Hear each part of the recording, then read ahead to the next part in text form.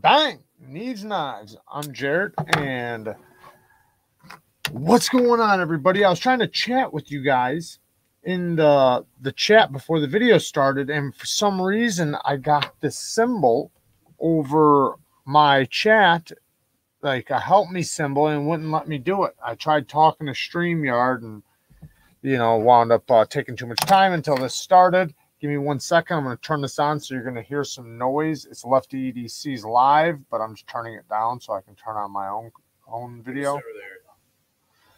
All right. So, how's everybody doing? Um, I got a bunch of stuff I want to talk about, um, including one thing that I I kind of messed up on.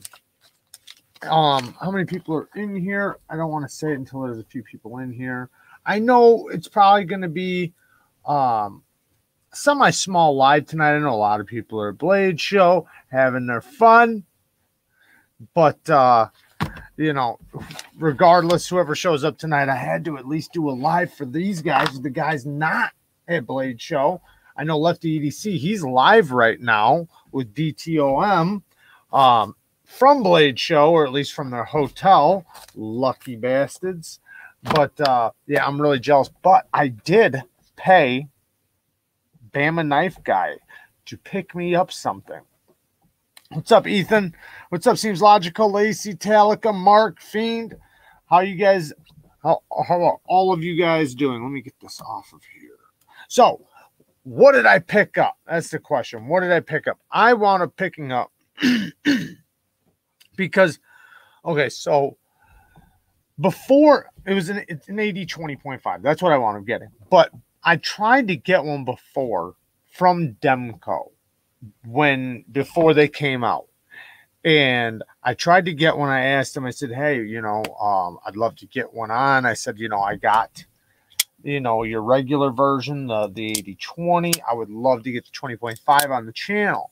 And he's like, No, we already sent them all out to all the knife reviewers or whatever, the ones we had for the knife reviewers. And I was basically like, yeah, I, well, you know, I'm not asking you to give it to me. You know, I'll buy it, you know, but I'm going to review it and everything.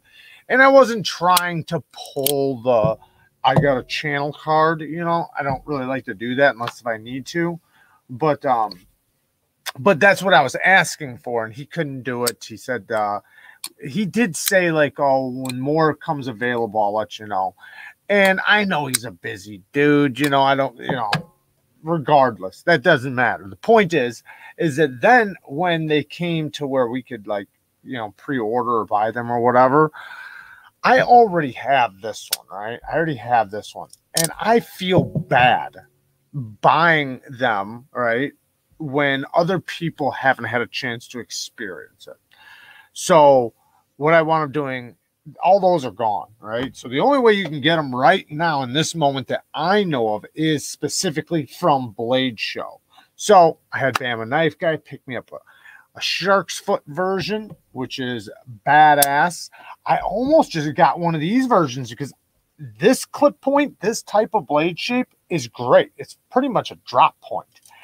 And now that I'm talking it and saying it to myself, I, I almost wish I would have like the shark's foot's badass. I like the shark's foot, but this is a perfect blade shape for like everything for me.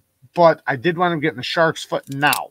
I'm thinking about having a regrind done to it.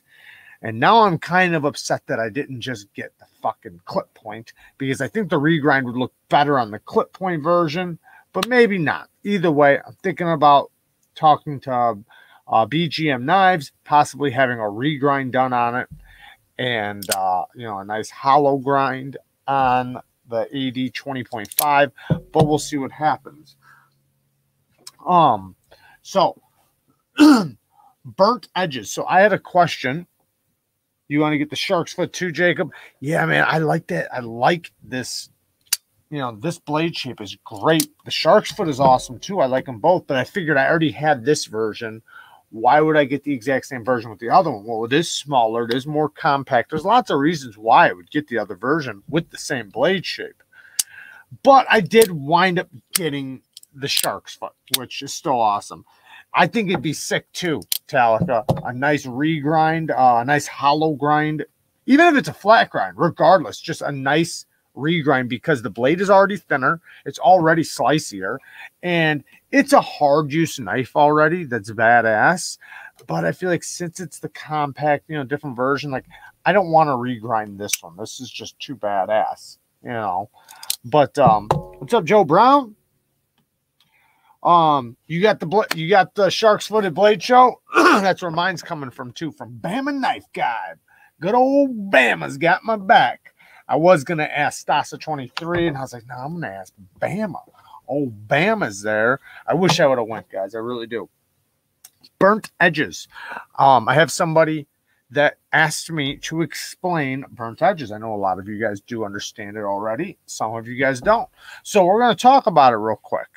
Now, how does burnt edges, how do knives get burnt edges? Well, first of all, we got to back up and go to heat treat.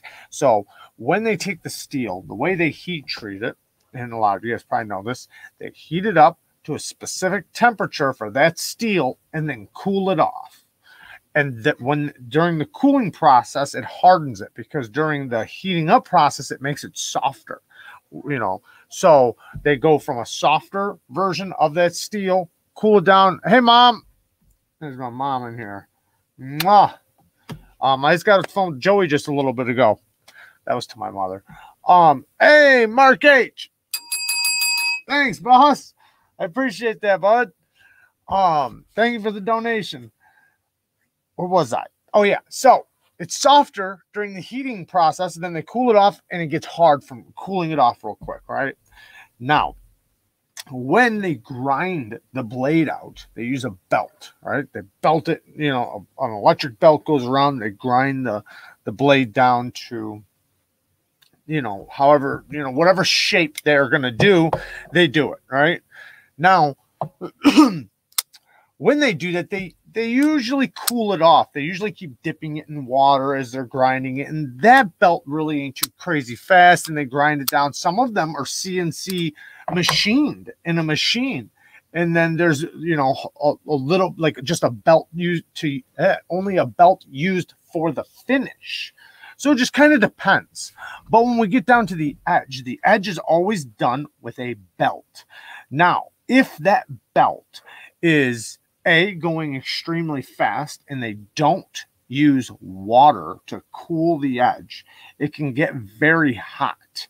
And if they have an old belt, it's really going to get hot because the abrasives are gone from it and it's you know it's just a spinning belt on the steel well like if you see sparks you're burning the edge sparks is a good indicator of you're burning that steel.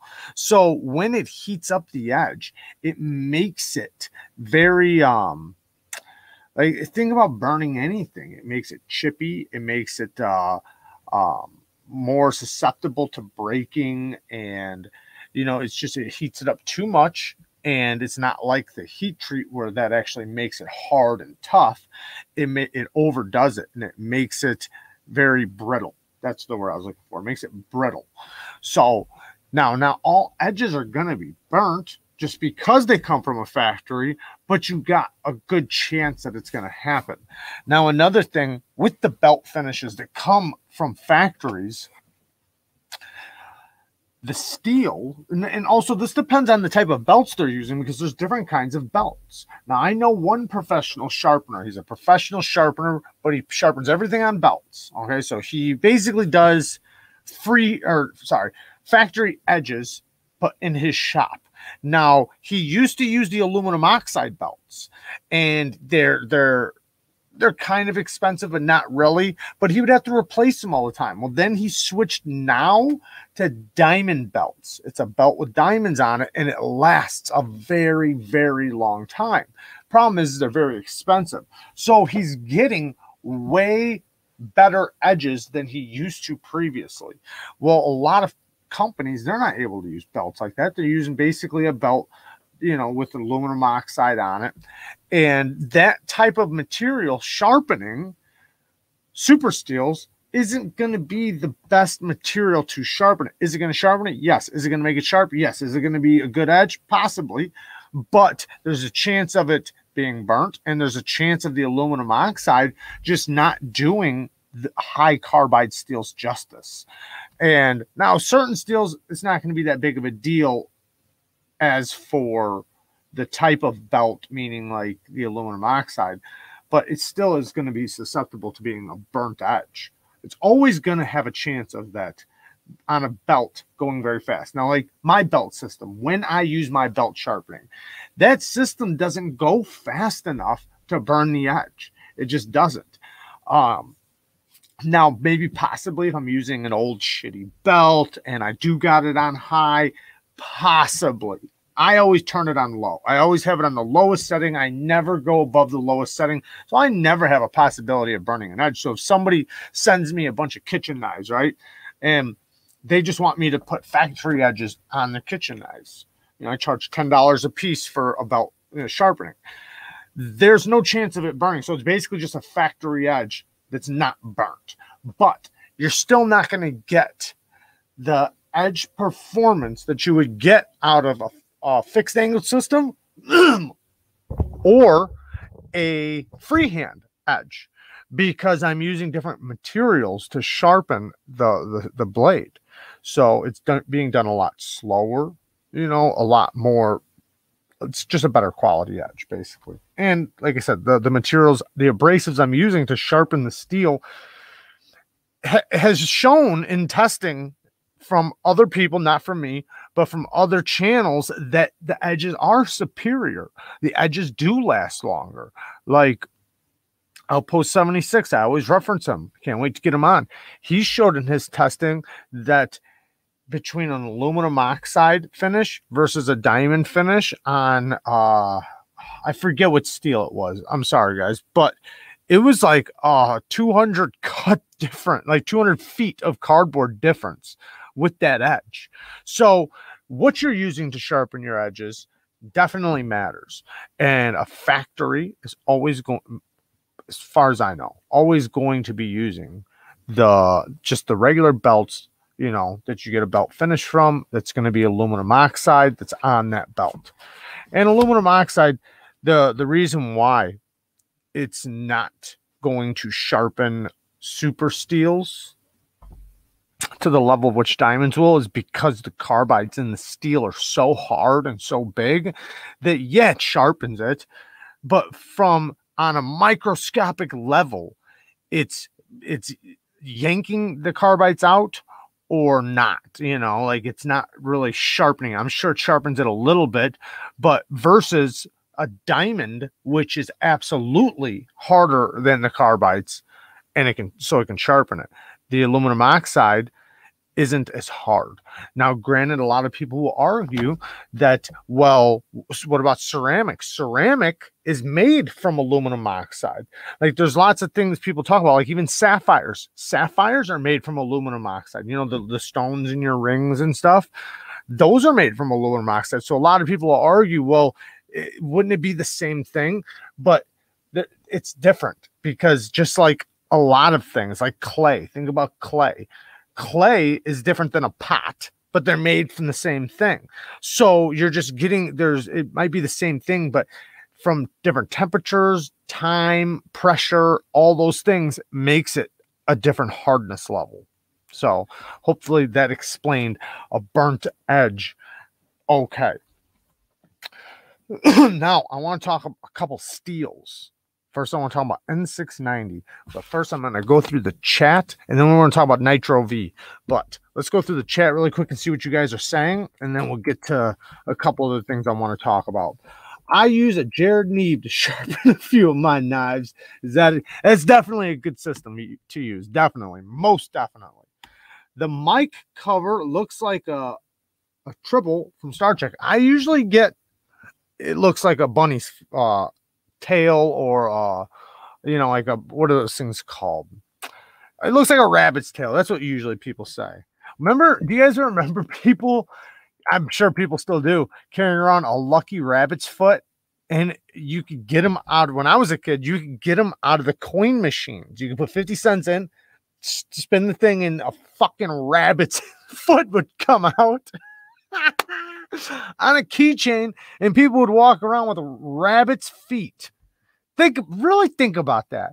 We're fucking kids walking around with feet from a rabbit and saying we're lucky. That that rabbit wasn't very lucky. I don't know how the foot makes you lucky. oh, just got home from Blade Show. All right, luckiness. Keep rubbing it in. Just rub it in a little deeper. Matt Lambert says, speaking of kitchen knives, what angle do you put on your kitchen knives? I put a 14 degree on my Wusthofs. So I don't necessarily, sorry, I don't necessarily have like an exact, sorry, I keep hitting shit, an exact angle, but I do, I think it's good to go like 15 degrees, 17 degrees is probably the, the highest I would go. Now, unless if it's a chopper. Now, obviously choppers, I you know, depending on the thickness and everything, the highest I personally would probably ever go is maybe 20 degrees. But most of the time with most kitchen knives, it's going to be 15 15 to 17. Um, I think that that's a great edge. Now, if it's extremely thin, it, eh, you know, it just kind of depends. But uh, most kitchen knives are very thin and have great geometry already. So just putting a good apex on that on the the edge is real, you know, goes really far. Also, the steel, you know, like because some of these this junk, I, I don't want to say junk, but because all kitchen knives for the most part, or just regular stainless. Now, if you're talking about a VG10 kitchen knife, that that's a little different. I think it can hold that angle a little bit better to where, you know, 14, 15 degrees is great. But with a regular kitchen knife just made out of stainless, probably around 17 degrees. Maybe a little lower, just depends. Um, seems logical says I usually sharpen at 17 and a half for European chef knives. Japanese, it's more like 13.5 to 15. Yeah, exactly. See, I like how you broke that down because there, there are so many different kinds of um kitchen knives, chef knives, and then also the the grinds, you know, are is because you know some chef knives have a thick spine on them and they might be thin at the the edge, but they, you know, they're not going to be as thin as say something that's micro thin. You know, kitchen knife should be very thin for the most part, though. I held a ten thousand dollar Koenig today, rubbing it in, Big Daddy, rub it in. Just keep rubbing it on in, Shane. Lacey says, I know, Monster. It's a, a birthday gift. Monday don't come soon enough. Ah, uh, happy birthday. Happy birthday. Stamped versus forged, too. Stamped versus forged, yeah. Yeah, definitely. That is a huge deal. That's because if it's a okay, so some of the stamped steels and what he's talking about, guys, is there's you know like some companies from wherever when they make kitchen knives, they're making so many of them. They're not forging them; they're just stamping them out. They're basically taking a big old sheet of metal and a big machine says just stamping out a blank and then they take that blank and then they sharpen it. So um I think you know who else does that? I think um oh man, I can't think of the company. Oh, man. Those fixed blades. Um Moras, Moras, Moras do that with some of their their uh their knives. But versus uh, a kitchen knife that's actually forged, where they actually banged on it with uh, with a hammer and stuff, that's going to be way different. Um, blade geometry matters more in a kitchen knives than anything. Absolutely, absolutely. Um, yes, ten thousand. I bet you did, brother. I bet you did. what was it? That's the question. What was it? Here I'm sitting here fucking playing with an M-Tech, and you're just rubbing in your ten thousand dollar knife that you got to play with.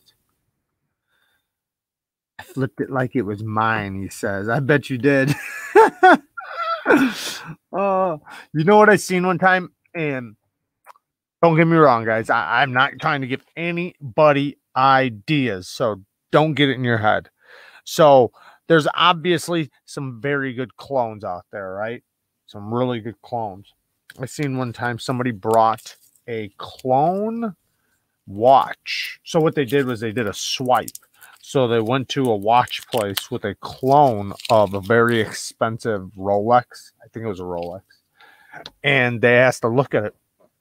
When they looked at it, they uh they swapped it. And the person behind the counter was relatively new. She was a female. She knew a little bit, but she wasn't the owner or anything. Well, when the guy left, the owner realized like five minutes later, like pretty quickly he realized, but he didn't realize that guy was gone. He was gone with the wind. And the way they set it up was there was another girl in there, and what she did was she started a little scene just for one second for the person that was behind the counter to look. That's all I had to do is make a noise. Had her look, and in that second, when she looked over at the other person making a scene, the switch happened. I'd tell you guys some of my old heist tricks, but I don't want to give you guys any fucking ideas. I get some pretty cool tricks too. Um, that I used to do similar to that. Got five hundred at Blade Show today in my hand for a couple minutes until I put them back. Yeah, which one was your favorite? I love personally the non flipper XM18, probably the best. But the three inches, I I love, you know, pretty much equally. You know, I do like them better than the flipper, but even the flipper version, like like Mike Emler, he's got my XM18 three inch right or 3.5 right now. I let him review it because he hadn't tried any of the new ones with the triways. And even he said, because the last time he tried one, it was an older one. And he said the flipper sucked. Well, getting mine in hand, he's like, oh, wow, this is nine day difference. It's way better. The way Hinderers are now are nothing like they were in the past. So, you know, he, they flip really good. Yeah, they're, they're things a little pokey, but they're, they're good. What's up, Knife Sergeant? Knife Sergeant's in the house. Definitely go check his channel out. Trying to get down to the bottom. We got a lot of comments. Seems logical says it'd be interest I'd be interested in hearing your heist tricks. And I promise that if I ever use them, I'll use them for good. Maybe towards the end. Maybe towards the end we'll, we'll talk. The one I just told, I've done similar stuff like that, but um never with a watch. It was with gold rings and shit like that. But I got way more stories than that though. I used to be in the the gold and diamond business. A lot of people say, just halfway true, that you can't get like okay, so like if you go and buy something right and it has diamonds in it, the diamonds aren't worth nothing when you leave. Well, that's halfway true. So if you take your gold and diamond necklace to a pawn shop, they will not give you money for the diamonds. Shit, some of them will rip the fucking diamonds out and then weigh the gold because they don't, don't care about that. They only care about the gold weight. So when they weigh it, they're going to weigh it and they're going to give you X amount of dollars, you know, so many dollars per gram of gold, blah, blah, blah. Now, if you ever take anything in like that, make sure you know gold prices first before you go in there because they're going to try to rip you off if you at least know gold dollars, then after he weighs it, you can at least see what he's going to make. And if he's making more than you off of your own shit, don't take it because most places, if you know your shit, they'll they'll make they'll make way less than you. You know, like off of a hundred and fifty dollar item, they'll make forty bucks or something. You got to allow them to make something off of it, but they're going to make spot prices off of that gold. So, anyways. But the diamonds, if you know somebody, you can definitely sell diamonds. I used to sell the shit out of diamonds. Now, the thing with diamonds is that the only ones that are going to be any good for any value is a half a carat or better. Um, between like 40 50 dollars for a half a carat up to 80 to 100 dollars for a full carat now that's for just any fucking diamond now if you get a good diamond like good quality diamond and you can prove it's good quality diamond obviously you can get a lot more money you know, especially if it's like a carrot or two carrots, the bigger it is, the better. But I'm talking about in just half carrot form. So if you have like 10 half carrots or 10 one carats, then it's going to be around that price. If it gets bigger than that, then the price goes way up, especially for good quality. But now them little tiny specks, if you know somebody, you can even sell those. I used to sell bags of them, of those little tiny fuckers. You can barely see them. And you still get the same value though. You know, they just weigh it by the carat, but you know, little time tiny diamonds at a time. oh, I'm sorry, mom. You're saying goodbye, mom. I love you. Thank you for joining. Sorry, I'm fucking talking my old heist stories. love you, mom. Um, my wife was mad at you treat had to jump online and get that smooth Kizer Vanguard Hazel you show last night. Oh, we were talking about this bad boy. I actually got, I'm going to talk about this thing here in a little bit. So, but before that, I want to say this. I want to, it's not really an apology, but I have to fix something I said, and I'm going to say it a few times now since I actually gave the credit to the wrong people. So, in the video, of the unboxing of all the Kizers, I gave credit to Kizer, which I shouldn't have.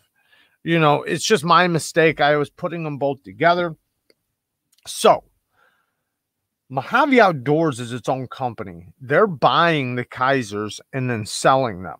So they are the ones that are sending me the knives. So they're the ones supporting my channel.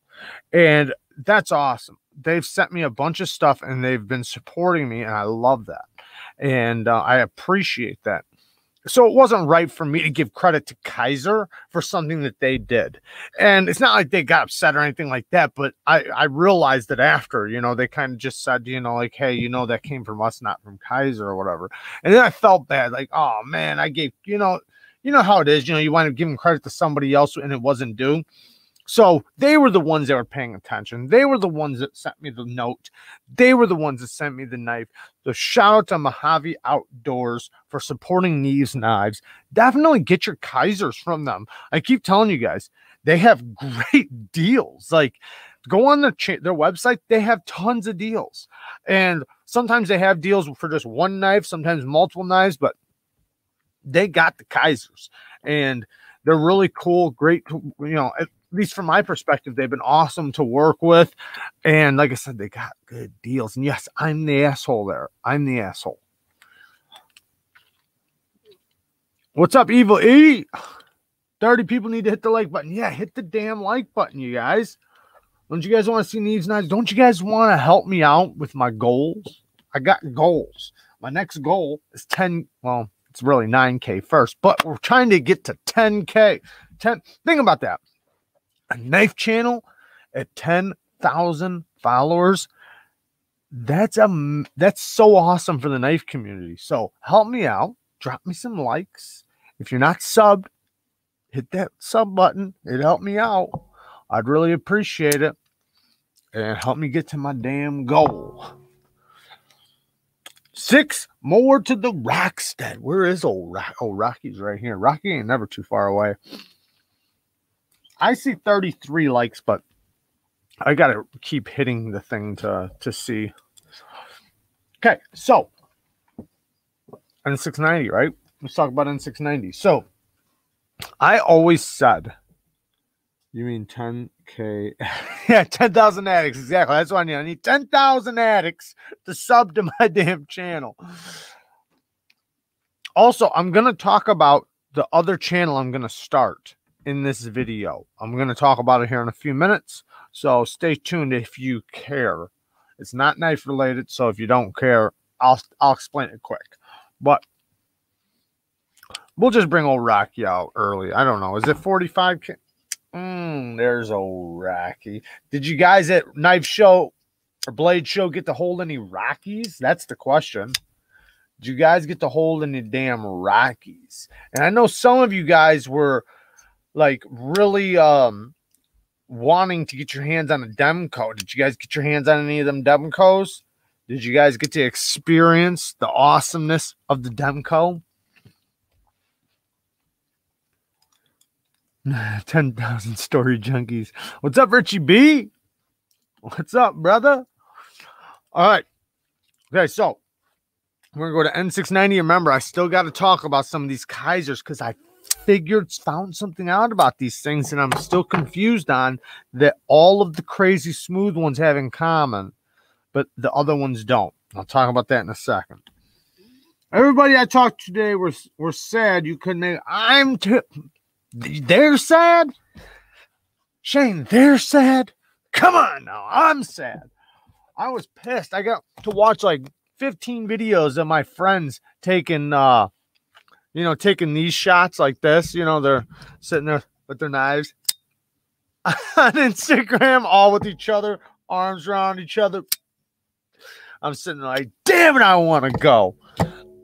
I should be standing right there.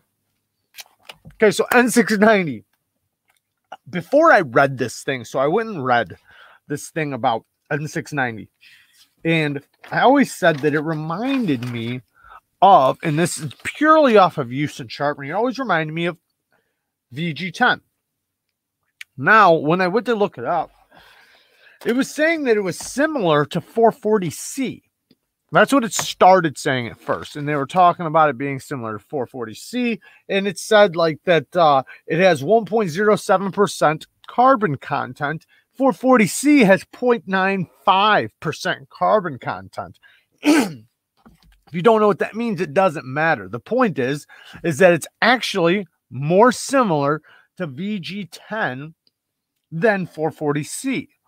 And uh, it wound up saying that towards the end of the thing they wrote. So I felt pretty good about thinking that, you know, because I always thought of it, you know, very similar to VG10. And then after reading that, you know, it kind of collaborated. So if you ever wonder about N690, it is very similar to VG10. Now, Nitro V. I'm sorry about the cough drop in my mouth, guys.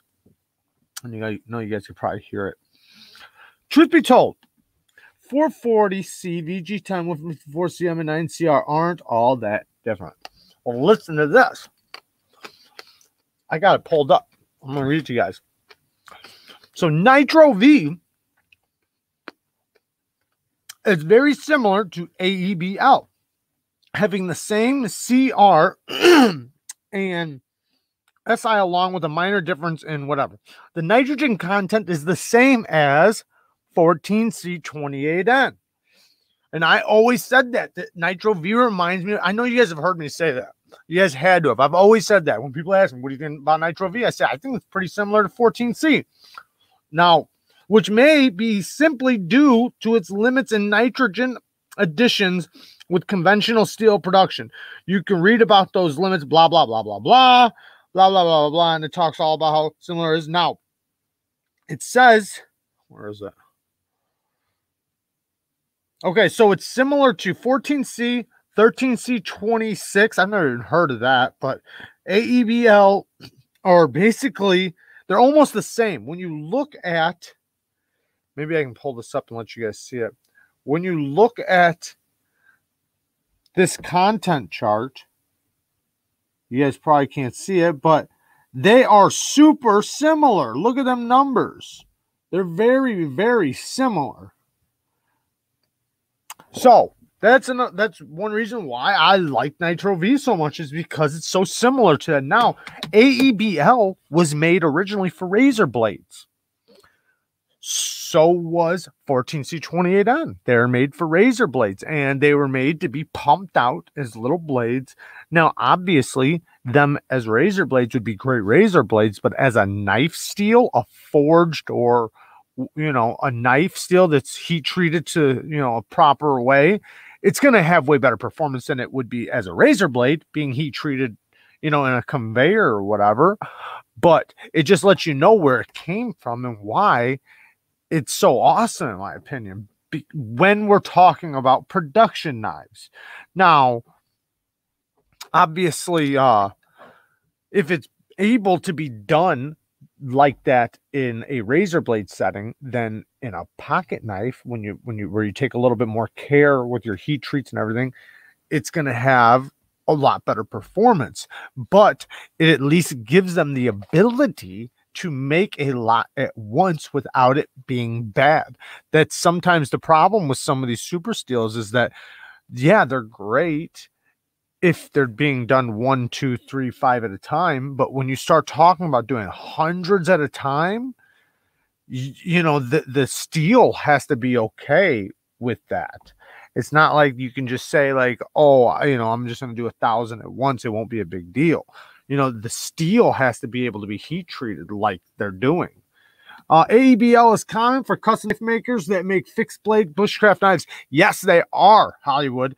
And also, there's some knife makers, some custom knife makers that use them in their folders too. I, what was it? I, I reviewed one. I can't remember the name of it, but it was sweet. It was awesome. I even sharpened it.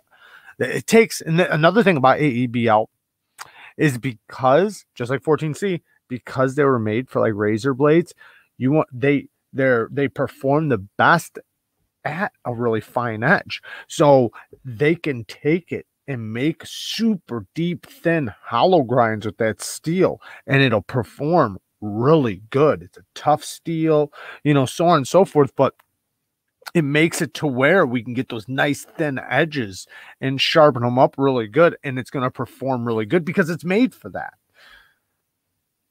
you know, it's just like some steels are made for abuse, you know, for fixed blades, for chopping and stuff. Some knives or some steel is made for razor, you know, for that cutting, very thin, you know, ground edge. It's protruding, it gets bad, and it's often painful. I don't know what that means. Maybe I, is Talica out of here? I'm sorry, Talica. I didn't see you were out of here. Well, my phone is dead. I need to plug in. Damn it. You're out of here. All right, bud. Well, thanks for joining, man. A lot of it also depends on the way the steel is made in the factory and the different processes that are applied to the steel formula. Absolutely, Todd. I'm glad you said that because exactly, you know, it does depend on on the steel that they're doing, the process that they're doing, every and the amount, right? It's like like say if you're doing 5 at a time of X steel, doing 20 at a time might not work out as good. So yeah, all because like some of the um I mean I I've seen and I don't know what some of the companies are using, but I'm sure you guys have seen where they're using those big heat treat things where they can put like a thousand of them in at once. Well, that might be good for some steels and be just fine, but some steels might not be able to to heat treat that good in a big setting like that where the temperature isn't perfect every corner of that that um you know that heat treat machine. Can't even think of the name of them right now. The forge or whatever. One minute knife reviews is in here. What's up one minute? What's up bud? Why is everyone bullying gordon? Why are you guys bullying gordon? Did he go to blade show without us? Is that why we're bullying him because if so, I might just join in. What's up, JN? Love the initials. So that gets down to Nitro V and N690 of why they are awesome. Now, we're going to talk about the difference between a freehand edge versus a fixed angled system edge. What are the differences? I think a lot of people know like the little things, right? Like, well, one a person's holding the knife, and the other one, the the the clamp is holding the knife. You know, because a fixed angled system is going to be a system that sits there, it holds the knife like a clamp, and then you take the stone to the blade. And a freehand edge is going to be you taking the knife to the stone. So two differences. But when you break it down like to other differences, there are going to be quite a bit. Well, obviously, um, freehanding is going to be a little harder, a little more difficult. Now, anybody getting a fixed angled system, you can't just think like, oh, I got a system, so now I'm going to sharpen up a good knife. A lot of knives are damaged that way, a lot of them. And you know, you can't blame the person, you know, they just because the thing is you have to at least know the like how and what you're doing, like what it takes to sharpen a knife, like from the grit to the burr to the bevel, the angle. Knowing a little bit of that stuff will help you use a fixed angle system. Now, just knowing a little bit about that you can use a fixed angle system, but there's still little details that if you don't know, like put it this way, somebody just jumping on a fixed angle system isn't going to do nowhere near as good of a job as somebody who is good with a fixed angle system. So it still does take good technique and knowing what you're doing. Now, freehand is a lot harder now. because not only do you have to know all those details, but you also have to do them yourself. You have to hold your angle yourself, do the pressure yourself, you know, and pay attention to every detail, every movement, every rock, every everything matters. But a fixed angled system, and now if we talk about both of them being like perfect, or you know, before that, let's talk about the problems with both.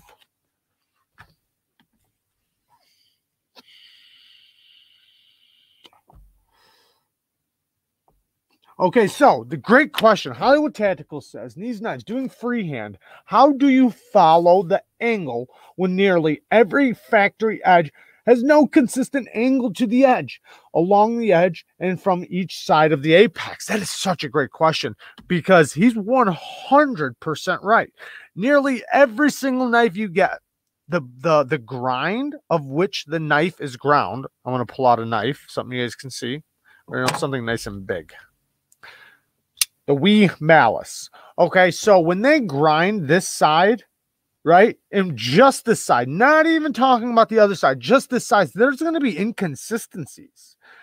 And then when you flip it over, there's going to be inconsistencies. And sometimes just from one side to the other, right here, is inconsistent. It's not perfect.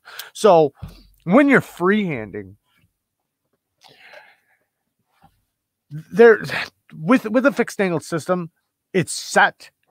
That's it, right? It's set to the angle and you go with that angle. That's all you can do, right? Eh, you know, obviously you do a bunch, but I'm just saying, like, you take the angle that you set, and that's the angle you sharpen it at. With freehand, you can manipulate a little bit. Like, say if you notice the tip, right, is a little thicker on one side than another. Well, then when you're coming through when sharpening, you can at the very tip just tilt right at the end. Give a little tilt at the end on one side to make it even it out from one side to the other. So there's little tricks to freehanding. Now, if it's a fixed angle system, there's nothing you can do. It, if it's off from one side to the other, you will see it.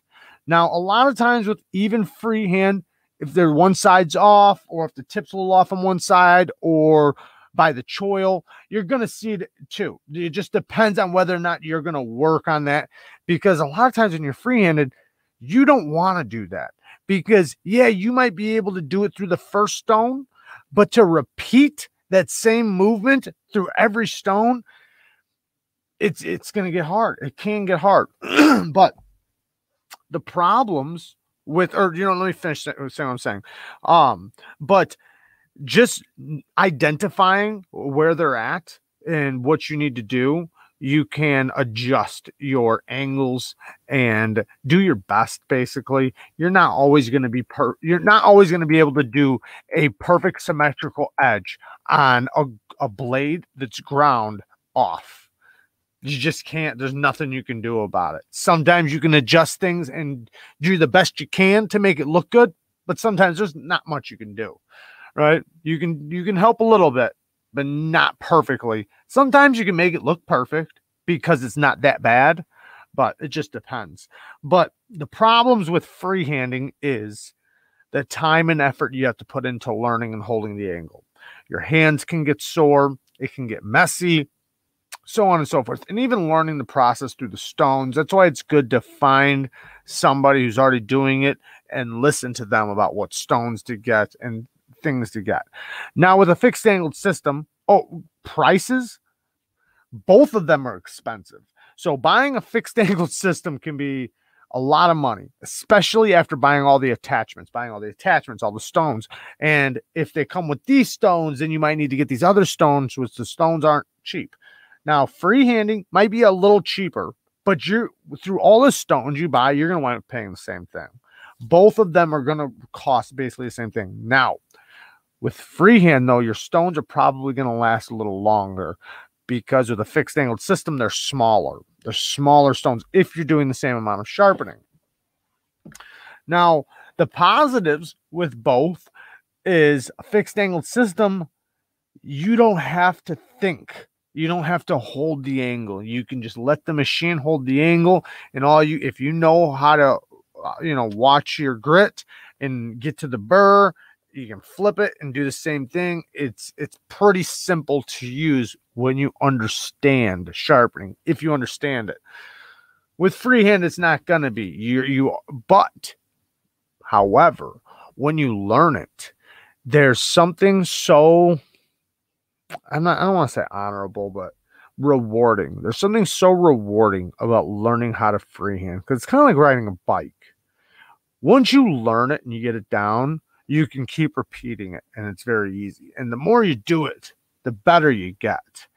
Um, kind of like riding a bike. Like I said, you know, like once you learn how to ride a bike, you learn how to dr- ride down the street without falling, and you're good. But then the more you do it, the faster you can go. Soon you can start hitting jumps. Soon you start doing bunny hops and riding wheelies and indoing and all that shit.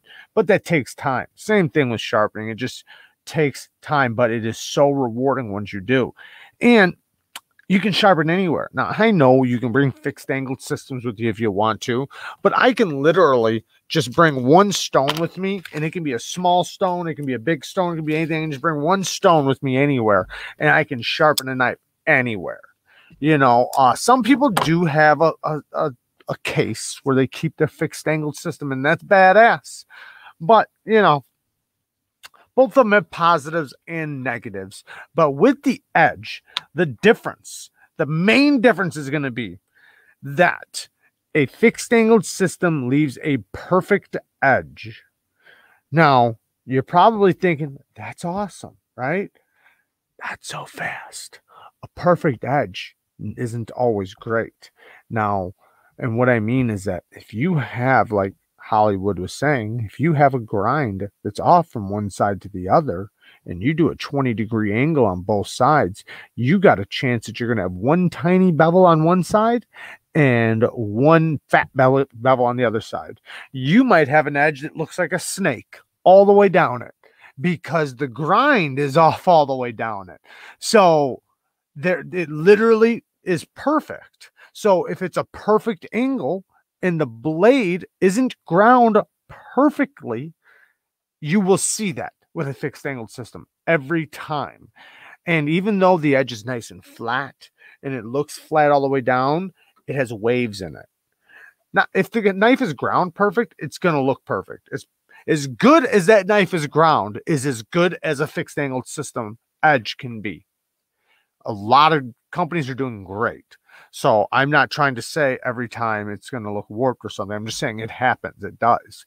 Now, with a freehand edge, you can manipulate that a little bit. Like if I start working on one side and I flip it over and it doesn't match, I instantly change my angle right there before I go farther because I can tell right away it ain't matching. Now, on the heel of the blade, say if it's really tiny, well, I can, like I said, do that little dip move by the heel and work on the heel a little bit of extra time to make it a little bit bigger to make it match. So, you know, even though the one is perfect, sometimes that perfectness backfires and can bite you in the ass. So, and any if somebody does really really good freehand work, they can make it pretty much just as flat, just as perfect. And I've probably been talking way too much about this beating dead horses. Sometimes you got to beat a horse to death though. Okay. Um the new stainless Civivi. Oh, I got it on me right here. You guys seen that, right? bang, this new Civivi. I'll tell you what, this thing's pretty awesome. Look at how everything is just so clean.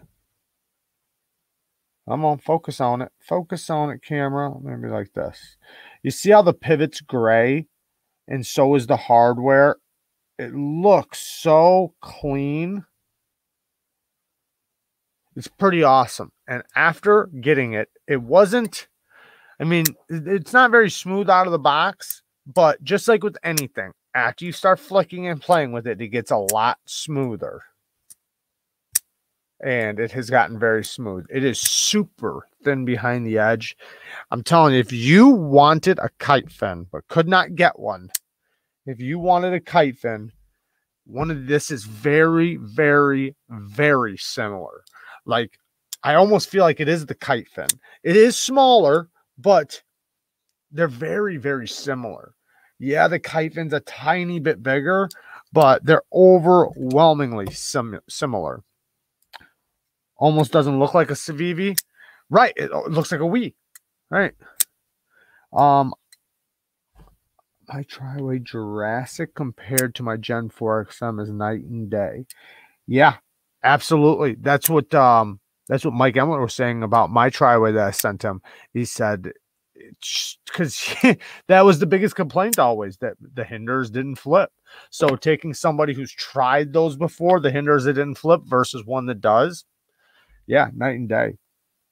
I don't know who Quentin is. Who's Quentin?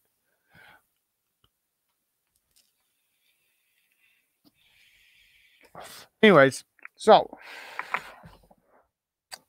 um, if you ever want to break in a detent quickly, looks like a Wivivi. Yes, it does. It does look like a Wivivi. If you ever want to break in a detent quick, here's a little trick. So, if you ever gotten a knife and the detent is just, well, two things. One, the detent might be a little too strong, or two, when you're trying to drop it, it's just like it's not dropping. It's or it's coated. That's another thing. It's coated, like kind of like the Kizers I got. One was coated, one wasn't. The one that wasn't is very, very smooth. The one with the coated blade, it's very smooth, but you can tell the the the, the satin blade is smoother than the, the coated blade. So, and once that coated blade breaks the detent in, once the detent is broken through the coated blade and makes a little track, it'll be extremely smooth, just like the satin finish.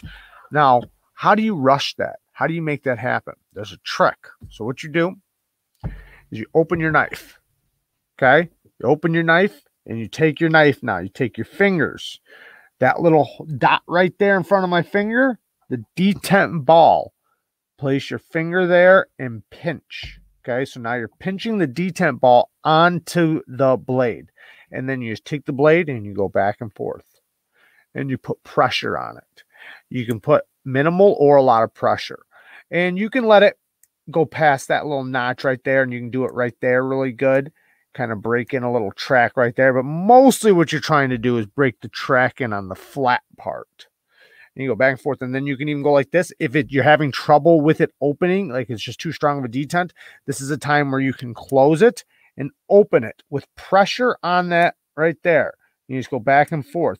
And what you're doing is you're breaking a little track in to the steel with the ceramic ball. And you'll find that after doing that about a hundred times back and forth, back, it does take a little bit, of course, because you're basically fast forwarding time. You're putting instead of sitting here opening it a thousand times, you just simulate a thousand times. But since you're putting pressure on the detent ball, it's simulating like 10,000 times without making the lock bar go on the tang of the blade because that is what's going to really like fast forward life of the knife is the lock bar going under the blade and locking open you know but we're skipping that and we're just breaking the detent ball in and we're just going to basically simulate a lot of time of it opening and closing and even more because you're putting pressure but i've done that to a lot of knives and made them stupid smooth when they had coatings on the blade or they were just a little rough. Sometimes the satin finish that's on a blade, the the belt satin finish is a little rough and you can actually feel it.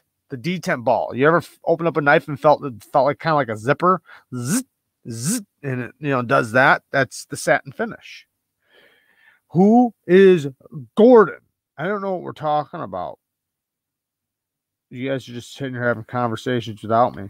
All right, Russ says no, I didn't see them. WE doesn't usually do substandard work though. Not good if they're starting to. I don't know what that means.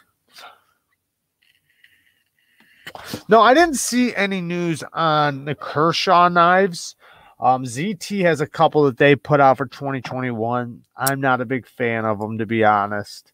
ZT makes incredible knives, but I, in my opinion, they shit the bed. They shit the bed on ZT this year. Hopefully Kershaw didn't though, because I would love to see some really good quality USA made Kershaws make a, a bare knuckle two or a knockout two, or it makes just a whole new knife, but USA made that are similar to those. Hey, with no assist. Beast Blades, thank you, man. Go up. 75 watching and 57 likes. Hit that like button. Get me to my goals, my 10,000 sub goals. The WE knives I have seen that are going to be released soon look more like Civivi's to me. Well, they got high end materials. You got to think it's still the same company. So, yeah, they might, but I will give them credit for this. They're making knives that look extremely useful. Like, let's just pull out this button lock really quick. The Elementum. This is such a useful shape, grind, everything is done so good, specifically for use. So you can make an extravagant fucking lines everywhere knife that's super uncomfortable in your hand, doesn't cut for shit, clip sucks, and pay you know high material you know money or value. Or you get a knife that is a very useful blade shape, very useful grind, useful clip, great action. I like that uh, personally, but but yes, they're the same company, you know, so it is going to do that. You're going to see some of their knives are going to be their budget materials or their budget knives, the high end materials are their high end knives. But you, you, guys can't be too mad at that because think about all the knives that you love as a budget knife that you would love to see as a high end knife. You would love to see titanium. You'd love to see M390. Now think of all the M390 titanium knives that you would love to see as a budget knife, right? There's so many of them. Um, I will say the Kershaw Shuffle 1 is a great little folder. It was my daily EDC for a time HCR, but they're cheap. That they're good for that. They're good for their their I, I want to call them very budget blades right? The the thirty dollars and under blades or forty dollars and under blades. That Kershaw is great for that, and for people that walk into Walmart, right? Which I think that's awesome because how do you get people started in knives unless if you get them to buy one at Walmart? evil opinion. They weren't meant to be evil, but when you come to a knife live streams and ask some messed up medical question, how is everyone supposed to respond? I had somebody chew me out in a comment earlier, and uh, I think it. I don't know. I thought it was kind of funny. So I did a cold steel video uh, a while back, and I must have said in the video, and remember, this was a while back, so I don't remember everything I said, but I remember how I felt and how I feel because I'm just telling my truth, you know, my truth. Anyway, so I must have said, um, yeah, I'm, what did I say? He said that I said, uh, "Oh, I'm not a real big fan of him, but I like him," and blah blah blah. And he was like, "You know, you sound like you're on the fence. Get off the fence. Just pick one. Do you either like it or not?"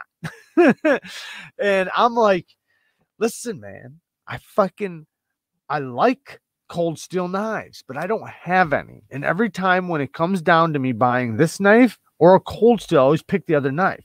So just by the way I buy my knives, that shows you that I must, I like, you know, I must not be that big of a fan of them. Now, I do like them. I love cold steel knives. I, fuck, they're one of my most recommended knife. Is like a cold steel code four, especially when people say I want a work knife that's very tough. But I have to go with what I wind up doing personally. If nine times out of 10, I get a fucking frame lock knife from somebody else and not from them, then eh, when I could have bought that, that knife from them, eh, you know, that says something. So I'm just being honest. Like, I like them a lot. I love them. And I'm going to eventually get a cold steel. But as of right now, I don't own one cold steel, not one cold steel. I'd like to, but I don't.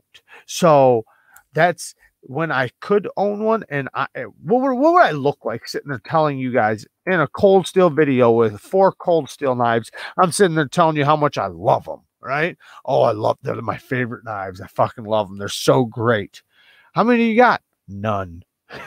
you know, I do like them. I think they're a solid knife, and I do need to buy some, but I I like you know other locks a little bit more than I like a back lock. I'm just not the biggest back lock fan. Now, I do agree it's the strongest locking mechanism ever before the shark lock. But sometimes I don't need that. Sometimes I'd rather have the faster action than the back lock. But then there's times I think a back lock is great. That's why I would love to own one, but I don't yet. So, anyways, he was mad because I was on the fence or because I sounded like I was on the fence and he, whatever. Uh,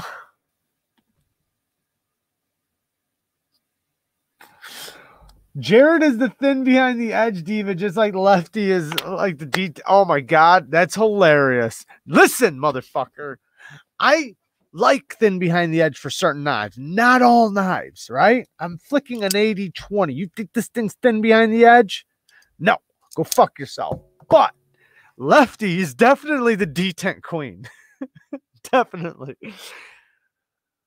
I got I gotta be honest. I love the guy to death. I love the guy. I love the guy. I love his channel. I think he's hilarious. I will always send him knives. I have so much love for the guy. But watching some of his videos, I lose a piece of my soul every time. I do. But I love it. I love it. It's kind of like eh, I don't know. I, get entertained. I think it's hilarious, and I love the guy. I hope he's not in here. He's in his own life. but he's got lefty issues, right? He's got lefty issues. I'm not left-handed.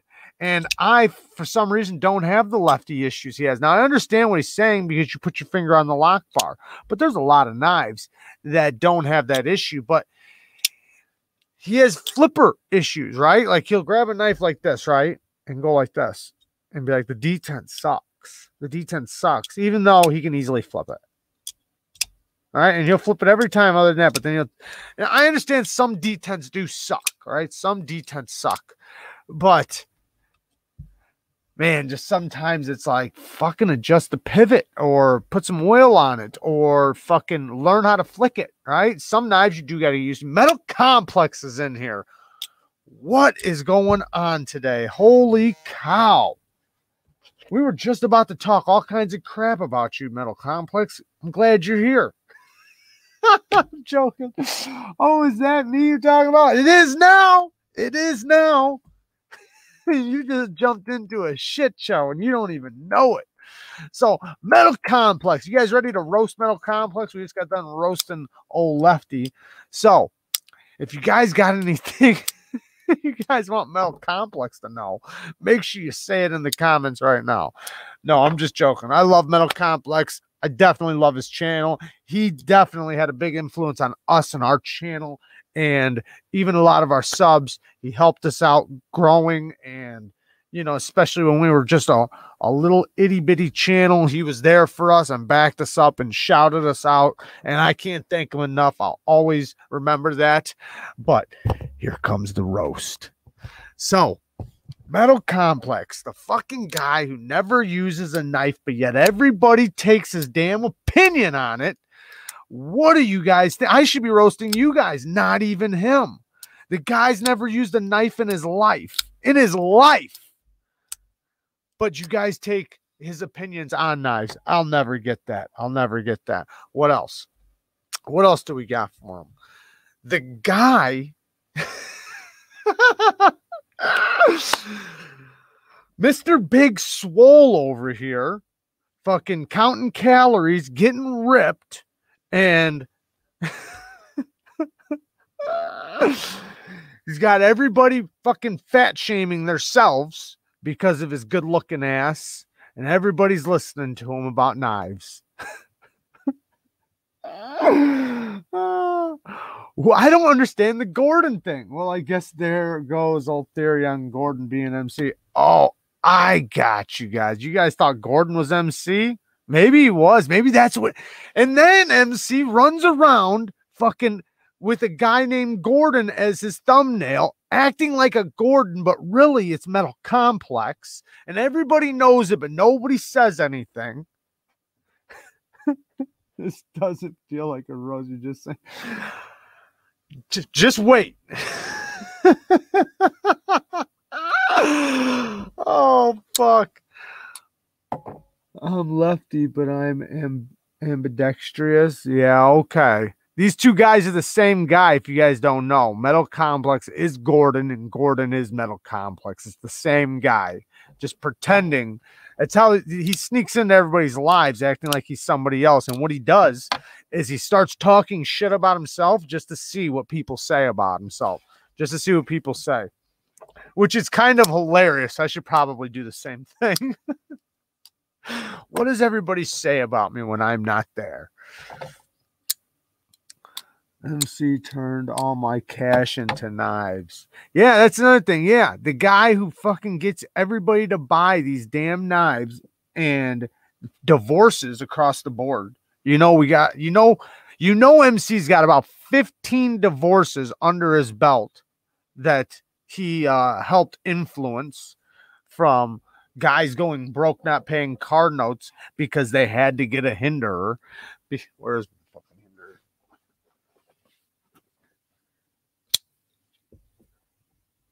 What does that look like, MC? What does that look like to you? Does that look like a titanium XM24? Do you not think you didn't have any influence on this? Huh? What's wrong with you, man? We need to get phone numbers for people that need help. I take zero responsibility for the divorces, 100% responsibility for the knife purchases, though. it's all the same thing, man. It's all in one. I had somebody earlier telling me he's like, listen, I bought that knife you recommended, but hey, I'm gonna give my girlfriend your number. I need you to explain it to her. oh, that's hilarious. Oh man. And and the AD20 whole metal complex. I, I you know what? And it wasn't even the people that got influenced to buy the knives. It's the people you influenced to buy the knives that couldn't buy the knives because of all the other influenced people that bought all the knives. So now you got people sitting at home wanting to flick a shark lock, but can't because old MC got them sold out. Sold out.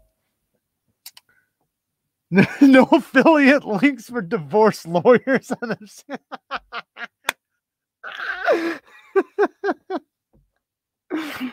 oh, it'll help with the inflation on the way. You're right. It'll help with the inflation on the way. Links are in the description. that's gonna be the that's gonna be the next disclaimer. The next disclaimer is I am not responsible for your divorces or your relationships that my, your knife purchases might affect after watching my video content disclaimer. so now, where did it go? So now it's the MC effect on the Shabazz effect. Yeah, Shabazz definitely had a lot of effect old MC. I, I, I have to say, I think he might have him beat. I think he might have him beat. At this point, the way he's growing, and congratulations to him on his growth I hate what happened, but I love, you know, his growth and how he just shot through the sky. That I, I honestly, you know, and maybe there was another channel, but in all reality, I don't think there was another channel that shot like that in the knife community. Um, when I look at our channel, I, I, I feel like we're so blessed, and we are, and a lot of it thanks to him. But man, his channel has just skyrocketed in an insane way, which is a blessing to to all the community because it really shows how many because we all know there's so many of us right? But it really shows how many there is you know and in that short of time how fast it grew think about like how many other how big these channels can get because the knife community hasn't really been around i mean it's been around for a long time but on social media channels, podcasts, etc. It hasn't been around a crazy long time. So it really shows what the future is going to be like. Hopefully. I hope so. Oh, bro, you guys are blowing up for sure. I appreciate that. I, I, you know, we're our next goal is the 10k. We're not even 9,000. We're not even looking at 9,000. Fucking right past 9,000, right to 10. Um, I think, to be honest, you know, just uh, the spit a little factual uh information. In the last 28 days, we've gained 800 subscribers. So, my, that's really good in my opinion. I remember because when you're when your channel's really small, that's when it takes the most time. You know, obviously, you know, getting to 30 subscribers and 40 and 50 and getting to that 100 mark. Once you get a couple thousand, that's when it starts picking up. And everybody knows the internet's like a wave. It just is. You're either down or you're up, down or you're up. And when the wave comes, you got to jump on. That's the secret. I don't know about the secret, but that's one of the secrets to you know, social media and the internet and stuff. You got to jump on that wave when it comes. But when it's down, it's what you do. That's what matters because everybody can be, you know, do great when they're up here on top of the wave, but it's what you do when you're down. Because when you're down and you're, you're, you know, fighting to, to, you know, for views and fighting for subs and still pushing content waiting for that next wave. That's what matters because having consistent content is going to be what makes or breaks you. If you don't, if you're not consistent and you don't put the work in, you, you can guarantee like Metal Complex, he's put a lot of a lot of work in, a lot, a lot of work. And he's definitely influenced me to to put in even more work. This is what I said to myself was, how many videos does he do? I'll do double that. That's what I said. How many lives does he do a week? Well, I'm doing two of them then. oh. You think I grow fast? Watch out for Neeves. Yeah, I, I hope so. I hope so. I'm coming for you. I'm coming for you right now. I'm just letting you know. Coming for you. But uh, but yeah, it's and uh, man, I, I, hate what happened to, and you know, I don't want to sit here and go all about it, you know, but I hate what happened to his channel. I really hope that everybody is, and I really mean this, guys. I hope everybody is supporting him while he's down right now because he'll be back up. But support him right now while he's down, whether it's through Patreon, his links, whatever it takes you know, because he's still pushing it. He's still working hard. He's still doing it. He hasn't skipped a beat, even though he's been shot in the leg. He's wounded. He's at the back of the field, dragging one leg. he's still pushing along. So give him a hand. Definitely give him a hand. Yeah, I doubt that, MC. I doubt the applaud will be there, but but uh I'm sure. I'm sure it'll. Yay! For Neeves, fucking past me. That's how it'll be. oh, yeah. You know, him. It can happen to any one of us. It really can. He was. I, I heard what he said about that. You know, and he's 100 percent right. It can happen to any one of us. I know other channels that have been, you know, that the same things happened to that I couldn't like right now. I could look at his channel and assume. Right? There's things I could assume. Not being 100% sure though. There's other channels I can't even assume anything. Like it just doesn't even make sense to me. Sometimes you got to wonder like if it was a mistake and sometimes it is. A lot of times it is. A lot of times as long as, you know, if you fight back, you, you'll, you know, you'll get the upper hand, but a lot of people just give up you know, they look at it and say, What can I do? Right? What can I do? It's hard to communicate with them. To be honest, if something happened like that right now, I don't even know how to communicate with them. I'm glad that he's figured out a way, at least a little bit. Hopefully, it's a human, probably not, but I'm I think he'll get it figured out. I, I pray and hope he does. And um, you know, I hope he's got everybody's support because we need each other. Everybody's got to realize that we give each other a lot of shit, right? We mess with each other. I mess with everybody out of love. I love everybody, but we we have to stick together, right? Our community exists because of all of us. You know, whether if you like this and he likes this and you don't like what he does, it doesn't matter. Right. That's not the point. Point is, is we're a community. At the very least, we have to protect that. You know, so I'm not going anywhere. I'll be here for the next 10 years. That's awesome. You should be. Every all of us should be. I mean, it'd be a tragedy to see this, you know, every and if you think about it, look at how it's grown. And just just the time I've been here, it has grown massively. So imagine 10 years from now, right? And there's so many people, and everybody knows these people that are knife people, but aren't part of the community. Everybody knows those people. And it's only time before they join. And once you do, like a lot of people say, come for the knives, you stay for the people because that's what it's about. It's about the people and the brotherhood, brother sisterhood. I don't know. I'm trying to, you know, get everybody in the, you know, the subject. Brothers and sisterhoods. We'll just call it brotherhood. Everybody knows what it means. The knife community is amazing and everyone is like brothers and sisters. It's awesome. Absolutely. And my thing says I got 3% girls watching. 3% of the ladies. And they come here for the biceps. oh, my people are awesome. They are. Everybody's awesome. This community's amazing. I get a few knuckleheads here and there that that uh, want to fight with me. I just I'll, I'll entertain them for a second, you know, and talk to them. Sometimes I I actually do really talk to them when they're really trolling. I just troll them right back. They don't know how to, they don't know what to say and they give up. But uh but for the people that actually mean it, like cuz there are some people that actually mean it. Like to be honest, I'm not going to say who it was cuz honestly I don't remember, but the other day I had a guy go off on me because of Metal Complex. Can you believe that shit? I had a guy go off on me because of Metal Complex.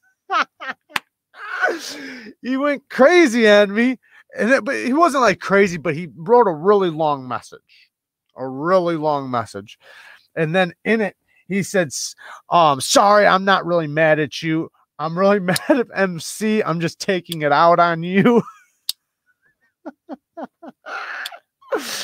uh, yeah, really, metal. Yes, really, and it was kind of it was kind of funny because I kind of know what he meant you know, and I don't know what it was about. I have no idea.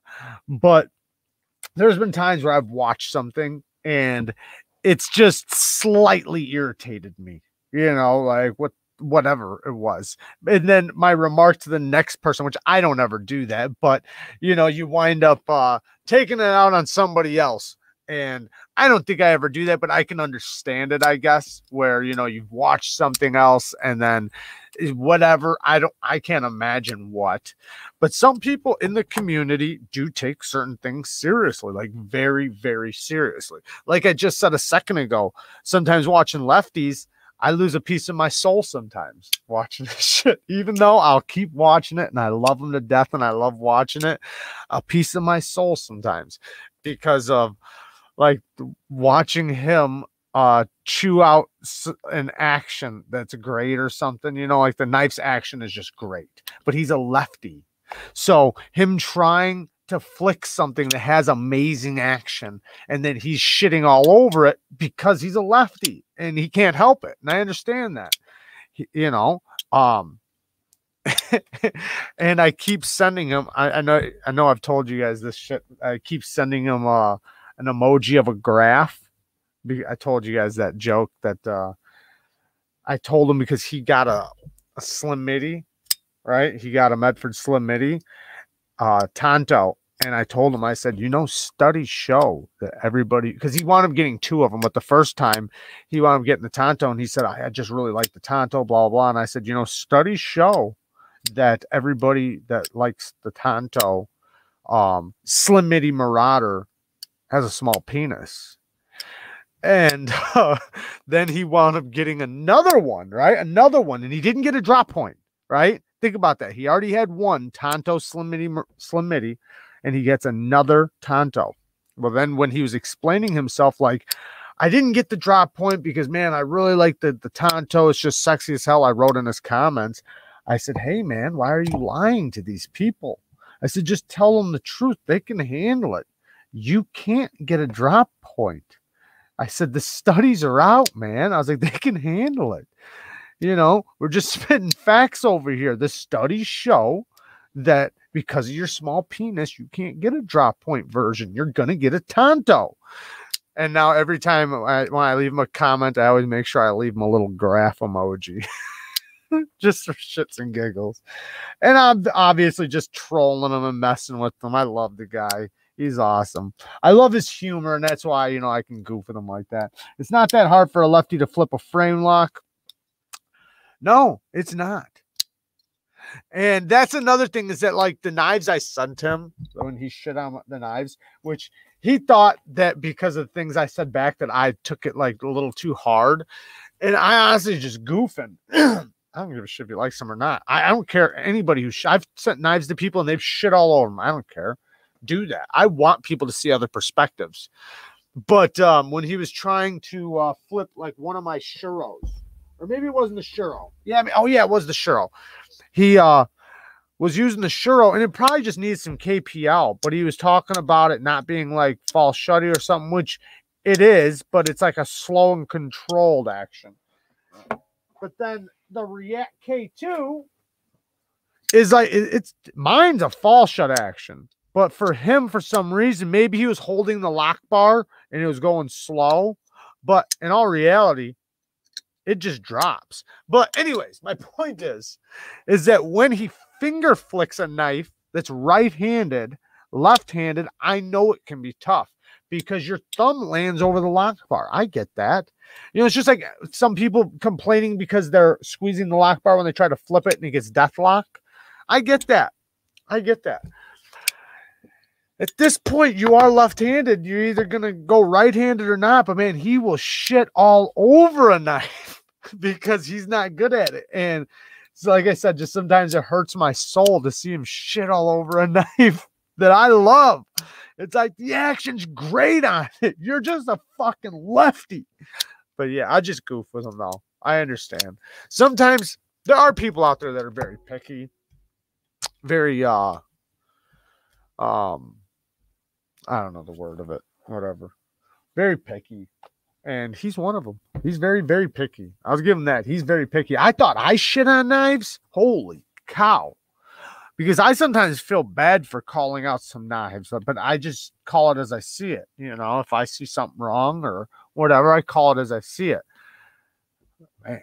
In fact, some right hand knives are better being a lefty. Yeah, like the chef, right? Because the hole winds up being on this side. So, yeah, I love flicking this thing left handed. You'd think he'd really love this thing, right? You'd think this would be like his all-time knife? uh,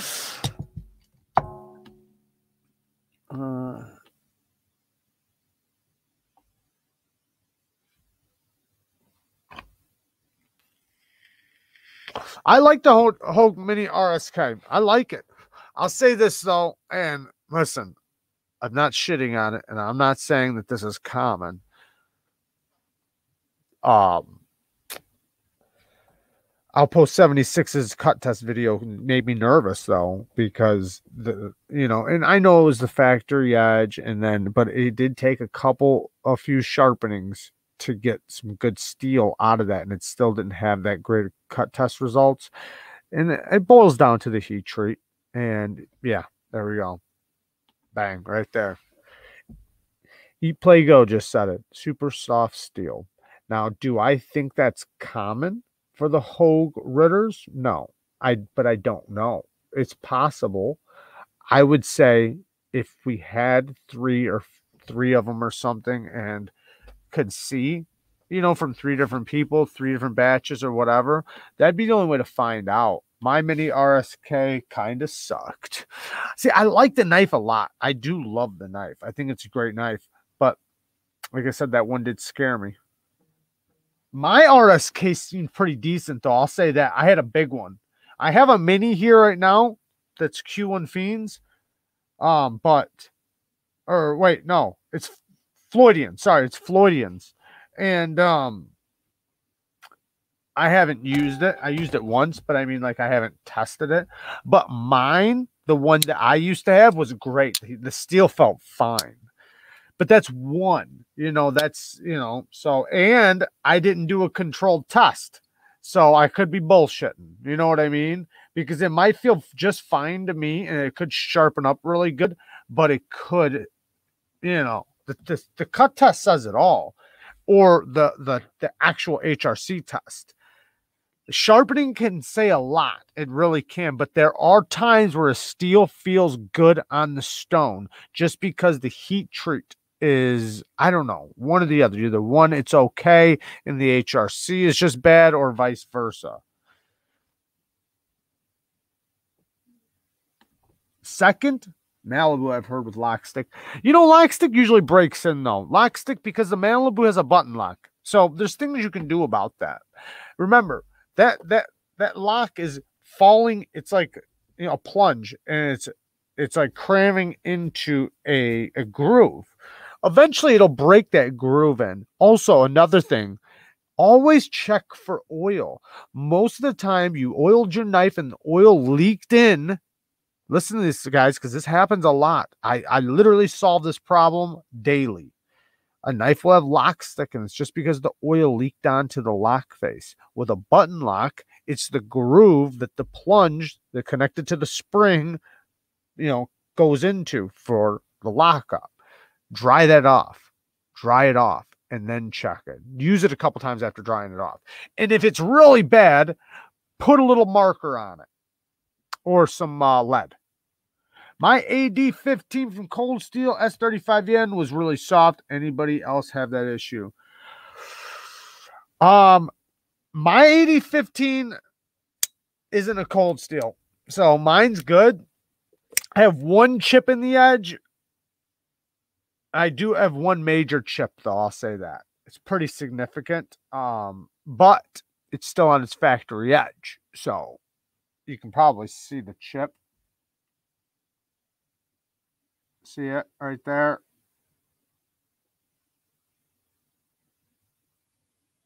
It's got that one chip right there. But it's still on the factory edge. So I, I can sharpen that out without a problem. So it could be just at the edge, you know, and it could have been my fault. I might have hit something like a, you know, I was using it quite a bit uh, a couple weeks ago. and I might have hit something with it. But Cold Steel does a pretty good job with the heat treats, but you know, it's hard to say.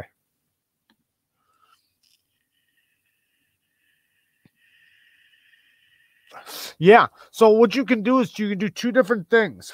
You can use permanent marker on the lock face for lock stick, whether it's a button lock, a frame lock, liner lock, it doesn't matter. But dry it off first. Get the oil completely off. You have to dry it off. Then add permanent marker now, there's another thing you can do. If the permanent marker doesn't work, do it a couple times too. Don't put just one layer. Put the permanent marker on, blow on it, let it dry, put another layer, blow on it, let it dry, put another layer. Now, if that doesn't make it perfect, which it most likely will, put some number two lead, pen, just some lead pencil. That's it. I was gonna say number two, like I'm in school or something, but just some graphite, some lead pencil on top of the marker. One or the other can usually do it. But if uh, the lead pencil won't do it itself and the marker won't do it by itself, marker, then lead on top of it will do the trick every time. Yeah, I know. It is a pretty big chip. it, it is pretty significant. Um, I, I got to sharpen it out. It's definitely noticeable. Never heard about the marker. Yeah, the marker works great. That's actually the one I always do first before pencil. I usually do permanent marker and a layer of lead pencil on top of it. But I do like two layers of permanent marker. It works great. There's some knives that um see now okay, now this is the little tiny issue is that rumor has it, or people say that if you do do that, it'll never get rid of the lock stick. It'll just prevent it from happening. So later on in the future, when it wears off, it'll come back. Now, I found that to not be 100% true because I have a knife that I did that for for like a year. And it had horrible, I mean, the worst lock stick ever, like very, very bad. And I always did that to it. And it would last for a long time, but eventually it'd wear out and the lock stick would come back and um, but lighter every time. It come back lighter every time. And I just kept doing it. And now it doesn't have lock stick. And I don't put the stuff on there no more. But I could what happens is though, is that when it does wear out, the lock stick comes back. Just keep applying it. Either one, it won't break in, but you don't have lock stick, or two, eventually it'll break in. Now, if you want to, you can clean it off and you can keep doing it, or send it to Richie B if it's just a uh, a raw titanium lock bar with no steel lock bar insert, send it to Knife Modders, and they'll carbonize your lock face for you. That's the best way to go about it. Oh, he's right here. if none of that works, hit us up. There we go. We can. There you go.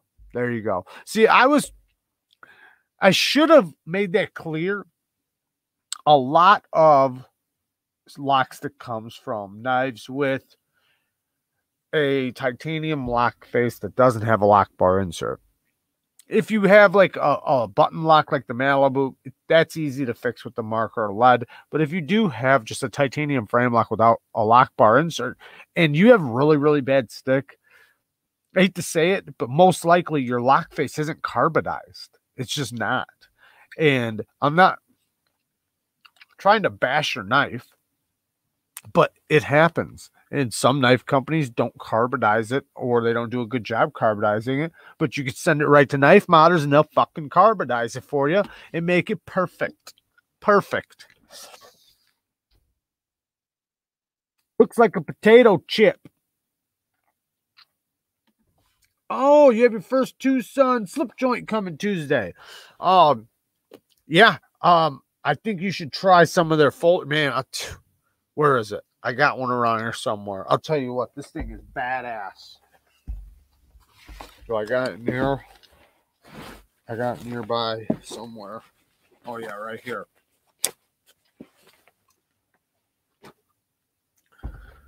This TwoSun right here, guys. I'm telling you, holy cow, is it badass. When we carbonize, we apply a very thin layer of carbide on the lock face so you have a much harder surface meeting the tang of the blade, thus getting rid of the lock stick. Yes, because what he's saying is because before he does that, the problem is that your titanium is softer than the steel of the blade. The blade steel is so hard, but the lock face is soft. So it just doesn't work out together. They don't you could I could say they don't mash, but the problem is, is they do mash.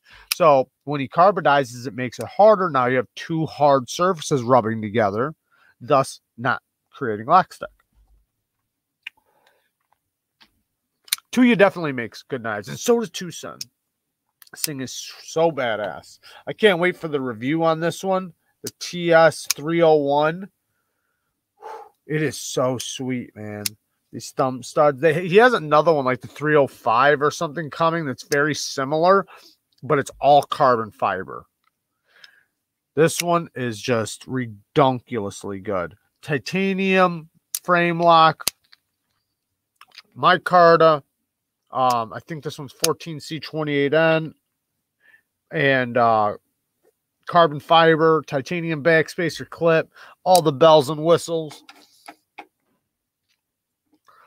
Uh, what else? There was another night. Oh yeah, I want to talk about this. I got to talk about it right now. Yeah, I got that one coming up soon too. The um, the BGM knives. Now, I am probably gonna send that uh that Demko, not my AD20, but the AD20.5 to get that regrind.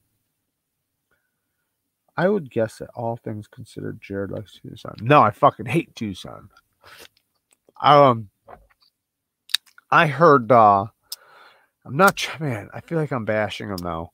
Um but uh, I heard Lefty he made a comment saying that uh you know, he thinks they're extremely well built, great detents, great this, great that, awesome fit and finish, very strong, yada, yada, yada. He said, but he doesn't really like any of their designs. Now, what I say to that is, well, you haven't seen enough because they got a design for everybody. They definitely got a design for you because they got like 300 knives. They have a fucking design for everybody. Now, I don't like all their designs either, but there's a couple that in my head are perfect for lefty EDC. In my head, you'll probably bash the shit out of them if you ever got them. Anyways, but he said they didn't have any soul. And I'm thinking, like, okay, I could kind of see that.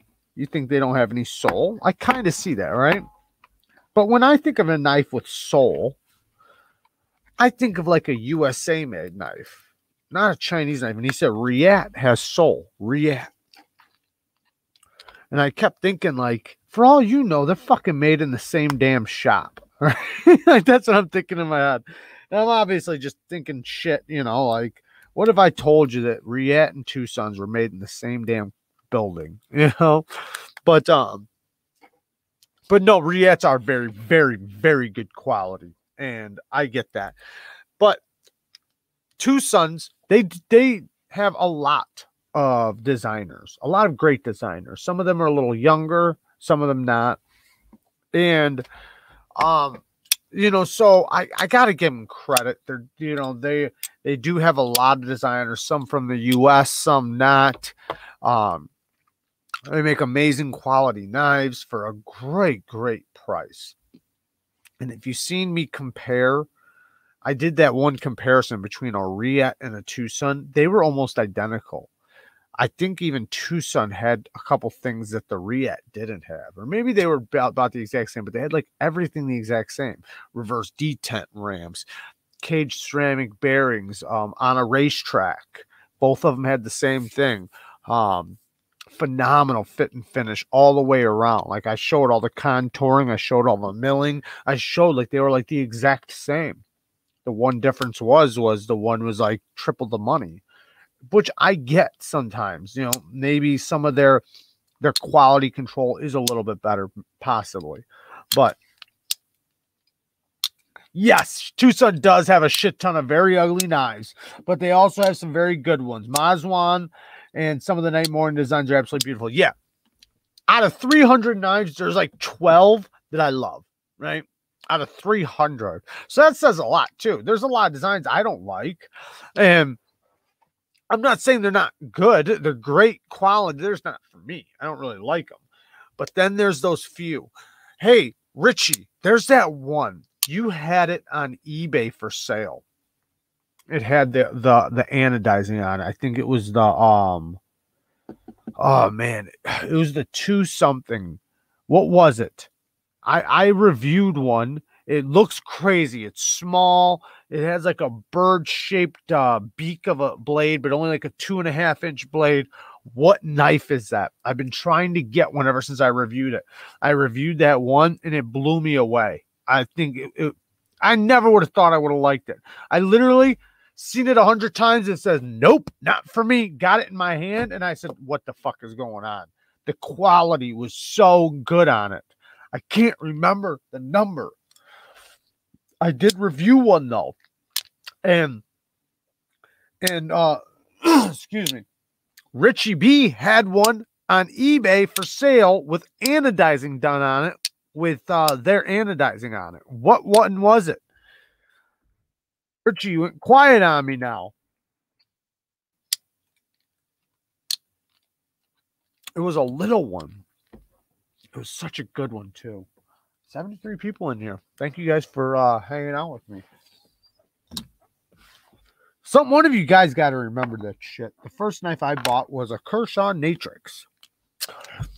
I could barely open it, and it hurt my fingers. Deathlock. It felt like a. I felt like a big pussy. Almost stopped me from getting into knives. Yeah, that. So Kershaw has that or had that issue just a little bit where if you touched their lock bar at all, like when you were flipping their their knife, if you touched this and tried to flip it at the same time, it wouldn't flip. Like it would just sit there, rock solid closing. You'd be pushing. And the more you pushed, the stronger it wouldn't open. And it would just sit there. And you're like, ah, because you're holding the lock bar. Yeah, take your finger and slide it back to here and then flip it, and it flips fine. But I did the same thing, man. I used to take my bare knuckle when I first got it. I used to skip off of that flipper tab. After a while, though, it breaks in. You get used to moving your finger out of the way, and it winds up working out. But it does piss you off at first. Evil E likes a good tanto. I got a couple good tantos. That's a good tanto right there. That's a damn good tanto right there. Look at that tanto. Look at that thing. That's a sweet tanto.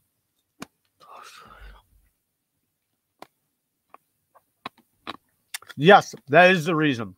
It's called death lock.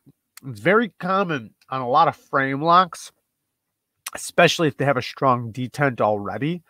When you touch the lock bar, it locks the detent into the hole and it can't come out. So the more you push on the, the flipper tab, the stronger you squeeze, you'll never get it open. Sometimes you will get it open, but it hurts. Now they have the stupid double. Yes, and Soltalic is talking about right now that in order to fix it, they came out with the double detent system. Stupid double detent system on everything that's not assisted. I hope they bring a normal detent back to ball bearings. I haven't tried their new double detent system, so I can't really speak on it. But yeah, they decided to do a double detent system now, which is supposed to help with it not to have death lock.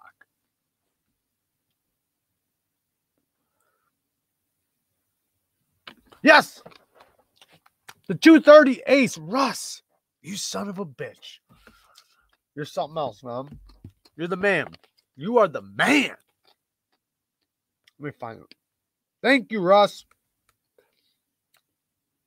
Um,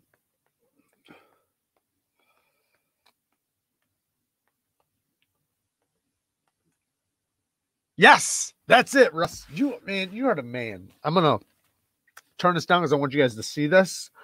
This, honestly, I've held a lot of TwoSuns, guys.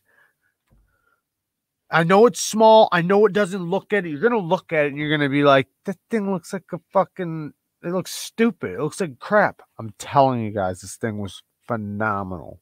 The build quality, the fit and finish, everything was so good on this knife. The action, I can't even explain to you how good the action was. The reverse flicking action was better than a spider Spyderco. I mean, it was so good. Now I'm going to show it to you guys. So don't leave just because you guys are going to say, oh, it looks like crap. It was great. Let's look at it. That's me in my hand. Look at this thing. This thing was so awesome. I know what it looks like. I'm telling you, it is so smooth. The fit, the finish, the action, the geometry was insane. See my hand right there when I went like that? That was me saying badass. Let me fast forward so you guys can see it closed. There's the other side. I'm telling you, this TwoSun was so good.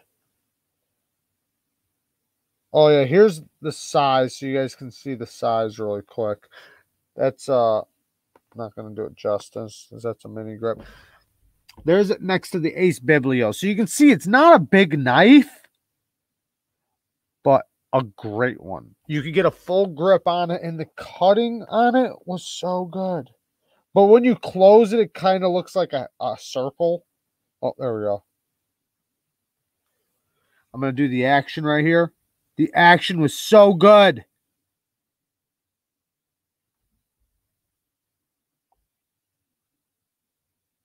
I'm showing you how good that detent is. The thumb flick, the reverse flick, it didn't matter. It was so good. Man, I wish I could. I, I would buy one of those if I could get one. That's how much I liked it. But I can't find them no more. I don't. I, don't, I think they stopped making them or something. Sorry, guys. I kind of went on a craziness there, but it was that, that good. And uh I I've tried to find them, but I can't find them no more. The last one I seen was from Richie B on eBay, and I'm sure it's sold. Um, the TS230 looks like an arrowhead for a blade shape. I found that's so appealing. Uh, uh that's so appealing looking. I wanted it as my first titanium knife. Was gonna use it as chaperone. You haven't had a titanium knife, logical? Are you kidding me? You haven't had a titanium knife? I want you to say that again. Tell tell me the truth now. I want, let's have the truth come out. Because if you haven't had a damn titanium knife, we're gonna have some issues. What are we talking about? I know you've had a titanium knife. Are you talking about just like a titanium TwoSun knife or something? Hey, baby, can you bring me my jewel on the charger, please? I know I left it. What?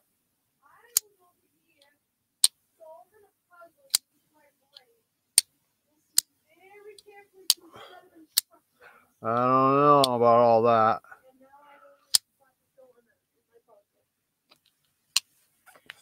Well, we're talking knife talk over here. I know, but it's just really quick. I don't know. We'll see. Yeah. Oh, check this out, guys. We'll play. We got this VR game that my buddy let us borrow. It's VR. It's a headset. You put it on. And you have these controllers. Holy shit! It feels like you're another dimension. I, I got the box. I got in the ring. It's kind of cartoony, but when you're there, you see everything. Like it's like you're there. So it's so realistic. You actually feel like you're there. Like I really felt like I was boxing this dude. Yes, I knocked him out, but everything else, like there's a zombie game where you have like a knife and stuff and a gun, and you have to walk up to these zombies and you got to stab them, but you're really stabbing. Like it's you're, it's like you're really there. It's fucking crazy. I wish I could put it on this camera right now. I'll let you guys see it. It's nuts. Sorry about my camera. Okay, I want to talk about uh, this other thing with these Kizers really quick. I like to fidget with knives, opening and closing like a crazy person while I'm doing yard work. I can see that. My neighbors probably think I'm just nuts. But are bearings always better or washers just as good? That's a um it depends. So I'm gonna go through this test that I seen a long time ago. So I seen a test where they took ceramic bearings, steel bearings, washers, and Teflon washer. Took a bucket of mud or like a bin of mud and just dirt and shit, threw them all in there, covered them up, shook them up, took them out. Teflon did the best. The ceramic bearings, I think, wound up getting second. Then the phosphor bronze, then the the steel uh, bearings. Now, however, nine times out of ten, normally a phosphor bronze washers are gonna get are gonna be better than ceramic bearings. It's just the way it is. There, it's a tighter fit, right? With bearings, you have a gap. Now, with certain specific ceramic bearings, they're fit in there really good, where there's not much exposed. It's like the side of the washer that holds the bearings is fitting in the seam of which dirt would get in. So it just kind of depends. But if you're around lots of dirt and sand, Teflon and phosphor bronze are going to be the best. Now, if you're not around dirt and sand and fucking your knife up, then bearings are going to be better, in my opinion. And the reason why is they're really easy to clean out. You can just blow them out. Like literally, you just go like that. You can rinse them out with alcohol. That's what I do. You you know they're very easy to clean, um, and they give you better action. Now some some phosphor bronzes are just awesome. I mean, I have some phosphor bronzes that are very like this one right here. I know this is uh, a Ganzo, but I mean, it's stupid smooth. I have a lot of stupid smooth phosphor bronze washer knives, but um, usually ceramic bearings are going to be smoother. Check this out, guys. I got the accipiter back. I loaned it to uh, Therapeutic Edge. This knife is awesome. Such a good knife. You can really feel the build quality of this knife. Now, let's talk about this Kizer thing because I noticed something. So I've got a lot of Kizers these days, guys, a lot of them. So I took the three knives that are just so smooth it doesn't make sense. One was the mini Begleiter, and I mean, it's stupid smooth. Like it doesn't even make sense how. Like watch when I unlock the thing. It's stupid smooth, right? The big bag, and this is the Begleiter 2 that's on ceramic bearings, and it's on their new ceramic bearing system. Okay. The next one, stupid smooth. Doesn't make sense. It's just ridiculously smooth. Now, this other new one, the Kizer Land. Stupid, smooth. Well, I was looking at them and I noticed something that was similar across the board. I don't think I'm going to be able to show you, but I'm going to try. If you look into the bearings on the uh-huh. blade, so like on this part of the blade right here, right where you see that blade right here, there's a divot on both sides. It's like a channel. I'm going to try to show it to you. It, it's the same on all three of these knives. Now, the other knives that are very smooth, but not like these, don't have it. So it has something to do with this. I don't know if it's like weight removal or something, but check it out. Let's see if you guys can see that. Come on, camera. Come on. Come on, focus. It's trying. I'm going to go up closer one more time and see if it works. Come on, camera. Come on, camera. Focus, focus on me. Not back here. I got to block this over here.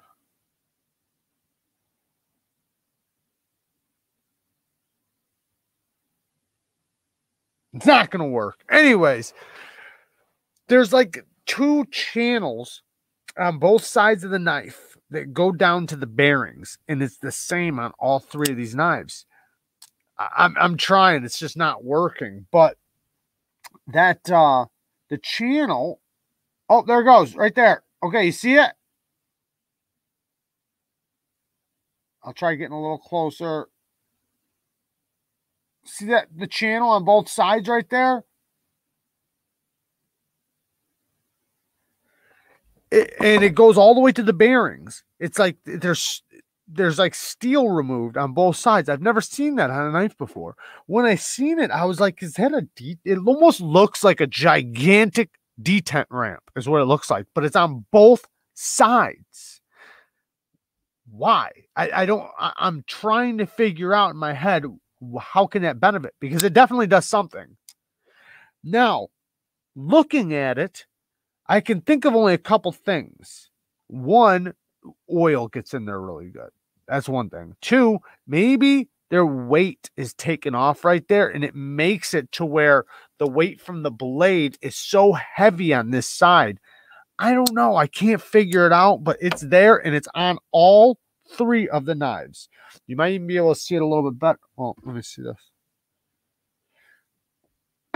This one, you can actually see the bearings. See it right there? See the bearings? You can actually see the bearings because the channel is cut on both sides. Come on. Don't try to peek through that hole. It's so hard. Everything's backwards in a camera, guys. Let me try coming back in.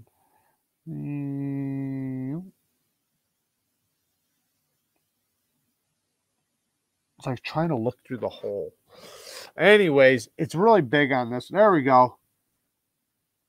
See how you can see the bronze or whatever? It's so hard to use this camera like this because everything's the opposite way. But it's weird though. I'll definitely show you guys in the review and stuff because it's fascinating to me. Oh man, suck my dick and penis and balls, baby. Wow. He came up with a real unique name and then decided to spit uh uh, uh troll us, I guess, spam us. You guys gonna get rid of him or what? You guys want to leave him in? I kind of like, you know, suck my dick and penis and balls, baby. I say we leave him in for a little bit.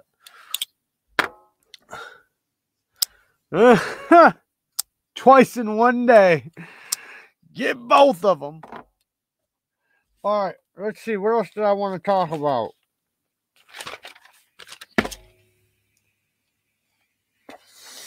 Okay, I talked about that. Oh, the fight tomorrow. You guys ready? You guys ready for the fight? Come on, I don't have to tell you who's fighting tomorrow. Are you guys ready for the fight or what? Is I, I've been fucking waiting a long time to see one of these guys knock the fuck out. Come on. I love to eat my girlfriend's shit. Wow. A little too personal, but uh, hey, do you, buddy? Do you? Anyways, the fight tomorrow. Ah! I know you would, but you're not at least a little bit curious to see him. You're gonna watch it. Don't lie, Talica. After I know you're not gonna buy the pay per view, maybe, but afterwards it's gonna show up on YouTube, and you're gonna watch dude get knocked out. I have a two inch penis. I can move it really fast. Uh, you must be related to Lefty EDC. oh, oh, I don't know if he'll get knocked out, but dude's gonna outgas him no matter what. But I think if I had to guess how it was gonna go, it's kind of hard to say, but I think, in all honesty, Mayweather's gonna tear his body apart. I think he's gonna because he's shorter and smaller. I think Mayweather's one gonna outbox him, obviously, but he's got to be careful because if he gets in the pocket, uh, the Paul brother does have the power to knock him out. He does, but it ain't gonna happen because he's not gonna hit him, or he's not gonna be able to hit him hard, and he's gonna stay in the pocket and he's gonna tear that motherfucker's insides apart dude's going to get liver shot over liver shot over liver shot, just left and right. And Mayweather is going to either beat him in a KO from tearing his body apart. This is my opinion. I don't know. Or he's going to keep doing that and then keep going up top and then getting them. And then he's going to get a couple knockdowns and he's going to win from the decision because he knocked him down a few times. I don't think he's going to knock him out. I don't think either one's going to get knocked out. But when he fought that one Chinese kid, I think he was Chinese, he knocked him out, but it was stopped. I guess that's kind of the same thing. So they could stop the fight. Like if he keeps knocking him down, right? Like say if he knocks him down three times in a round, it's automatically done. I think that's the limit. You can only be knocked down three times in a round, I think. It's eight rounds, three minutes apiece. Get down on your knees and suck daddy dick, baby. Don't mind my name. I was talking to somebody else on live. Okay. But you said it like 16 times. All right, guys, get him out of here. Fuck it. Get him out of here. He's not if he if I don't care about his name, if he had anything substantial to say, at least give us fucking details, you asshole. He's not giving us details. He's not doing anything. He didn't even tell us what the shit tastes like, but he wants to keep telling us about it. So I don't want him to just keep telling us about what he does. I just, you know, I'd rather hear details. A liver shot will drop you no matter how. Be- right, that's my point. And how do you stop the best boxer in the world from hitting you in the liver? You can't. He's fucked. I think that uh I I I do think he can box, but let's be real. Technically, he lost to KSI. I don't think he lost that fight. I'll be honest. I think Logan won that fight. The the the tie, I do agree that was a tie. The second one, I personally, I, it doesn't matter either way. He lost, right?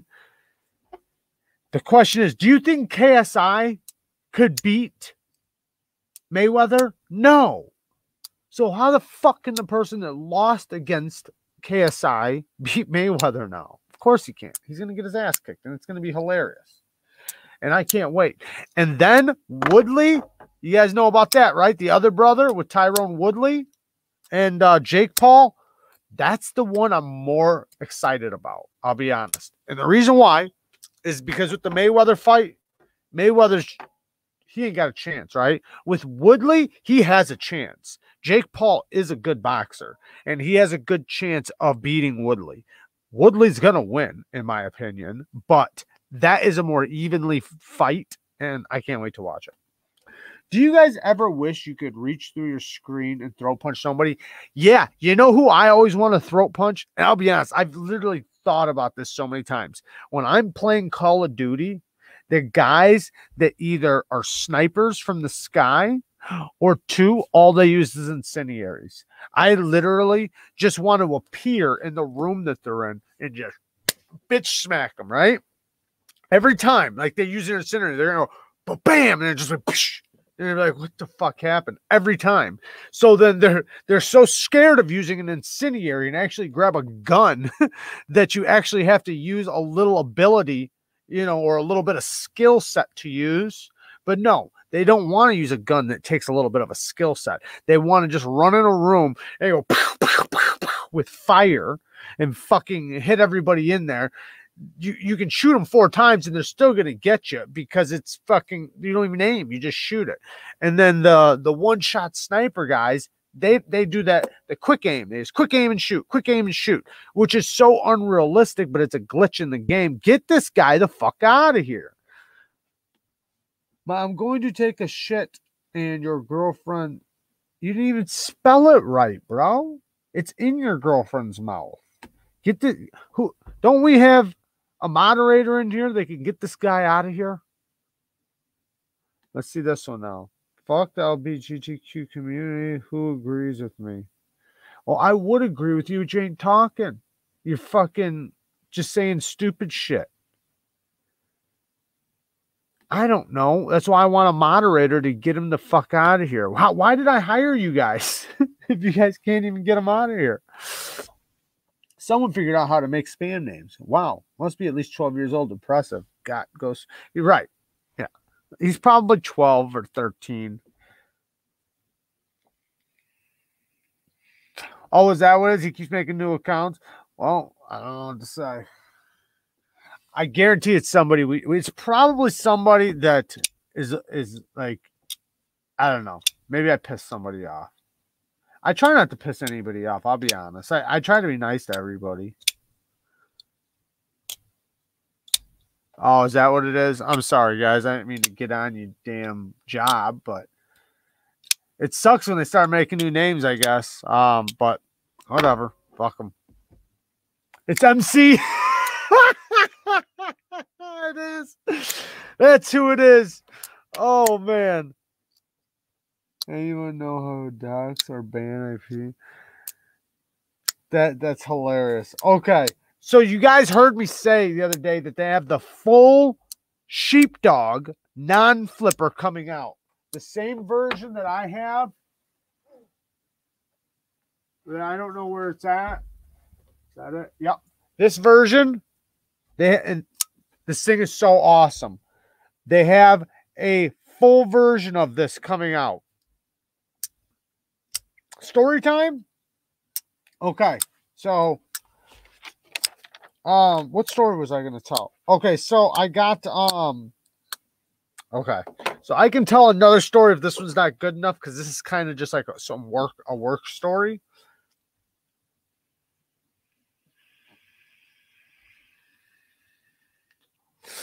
So, um, I was working uh construction and I was um, I was in, well, so the house is in um, shut your mouth, you bitch. Wow. So I'm working in North Chicago and um, we're doing siding, fascia, and gutters. And a lot of houses there are like incredibly old, like 100 years old, 80 years old, falling apart. You know, very, very poor, bad neighborhood. And there's this lady, and she's she kind of helps the community out with her church and stuff. Well, she bought this big ass house, like a four story house that still had an attic on top of it. I mean, very, very tall, but it's like falling apart. Well, she has the money to do siding on it, which will make the house look newer, right? The problem is, is that the house is so bad that it's hard to hang siding on it without it falling out because it's there was parts of the house I could literally just push my fingers through because it was that rotted. So we told her like, listen, this is impossible. You have to pay us to reframe some of the outside of the house to hold the siding. She couldn't do it. She couldn't afford it. Couldn't. And we wanted to help. We really did. This lady, like I said, she kind of helps the community and stuff. Um, and you know, it's a very poor community, so having good people like her in the area is a blessing and it's for a church and everything else. Anyways, the point is, is we wound up taking the job, which we shouldn't have. We took the job to do the siding. Now we made a deal with ourselves that what we'll do is in spots that are impossible, we will hang wood in those spots, right?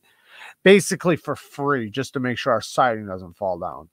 So um we're working on the house, and like I said, this house is like mushy because it's that bad. It's just it's old. It's like a hundred years old, and it's in a bad area.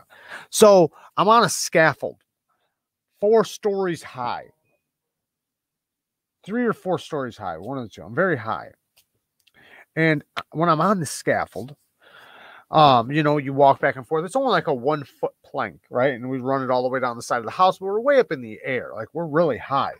Well, when I was up there I put my hand like this and I leaned on the window, right? And as I leaned on the window, the window just goes in, right? So I went. For, think about this. You guys got to imagine how terrifying it would be to fall four stories, right?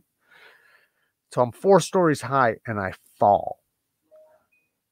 I don't know who's messaging me because I rested my arm on the window and the window fell in. Now, I didn't fall to the ground. I fell into the fucking house. So, next my heart dropped. I'm talking about like like sometimes a scaffold will adjust itself. You'll be up there and it'll like just fall an inch, right? It'll just right? That makes your heart drop, let alone being up there and completely falling sideways. Well, when it happened, I mean, my my heart just dropped. But thank God I fell into the inside the house. Now I'm on the inside of this house. And it's a fucking maze. I don't know where I'm at. I don't know what to do. It's a massive house. Like I think at one time, like back in like I don't know, the 1920s or something. It was like a schoolhouse for bad kids or something. I don't fucking know, but it's big. So now I got to find my way out of this place because because a window gets installed from you know the way we had to install the window because I had to put the window back, but I couldn't do it from the outside now. Like I had to do it from the inside. I only got one partner with me, like just the way it worked. I we couldn't, you know. Anyway, so wound up figuring out. I don't remember. I figured out the house. It was a damn maze though. Doors were locked everywhere. I didn't understand it, but it was crazy though. Falling into a house four stories high up in the air because I rested my arm on the window. That's how easily, think about that. Think about if you had a window on your house right now, if you just went like this and the window just fell in. That's how bad this house was. And there's a lot of houses like that in that area. Um, but uh, flip, flip, flip. I reported him for hate speech. Oh, thanks, William. Yeah, if, you know, I don't mind getting a little troll here and there, but sometimes, man, it's that was ridiculous. You know, Metal Complex, he needs to watch his mouth and be careful what he says on my platform. You know, we don't take that shit here at Neeves Knives. This ain't Metal Complex.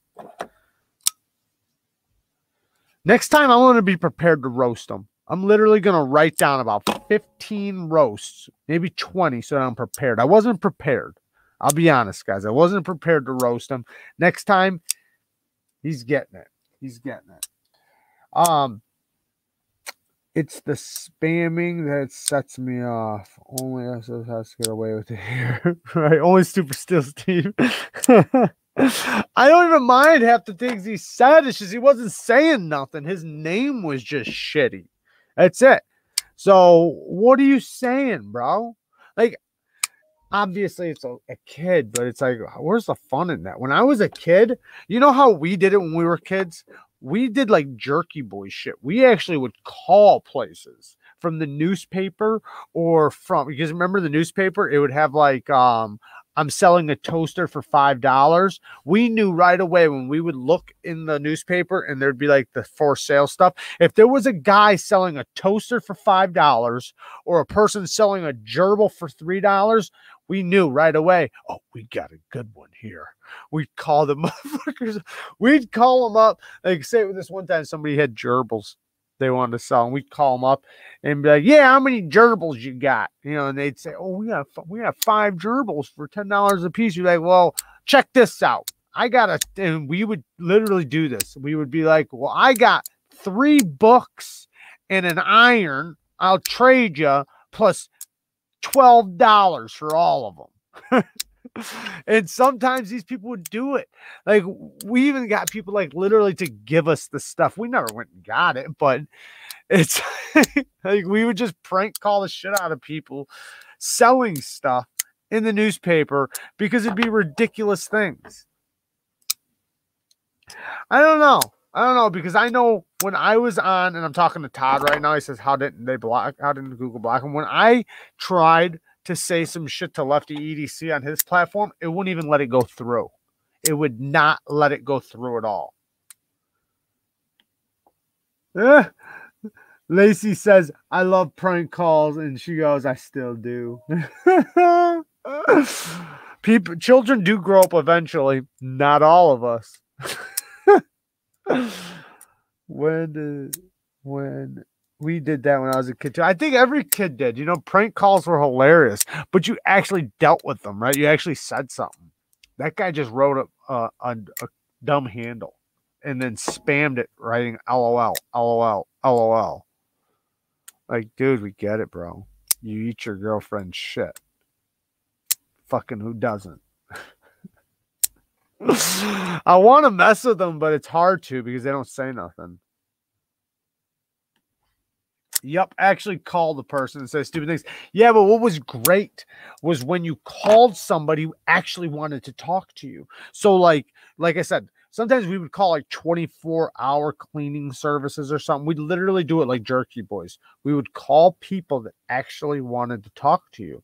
Like I said, we'd get the newspaper and find somebody who was selling something because that person wants to talk to somebody that's willing to buy their toaster for five dollars.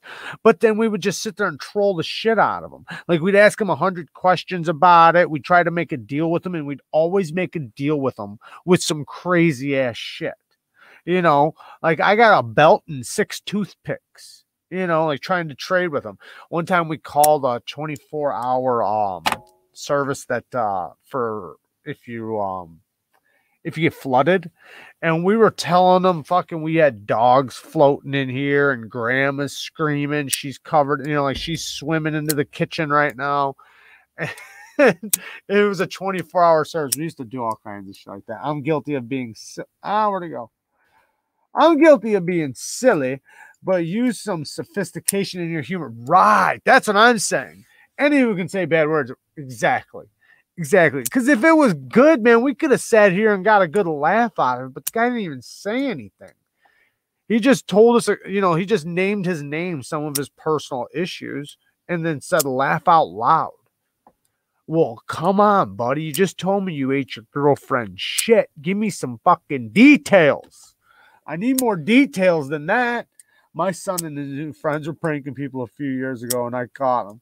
They thought they were screwed. I laughed hysterically and said, That isn't how you do it. This is how you do it. I've done that shit too. I've done that with my nieces and nephews. Like, hey, hey, hey, what are you kids doing? You're doing it wrong. Let me show you. Let me teach you how to do it.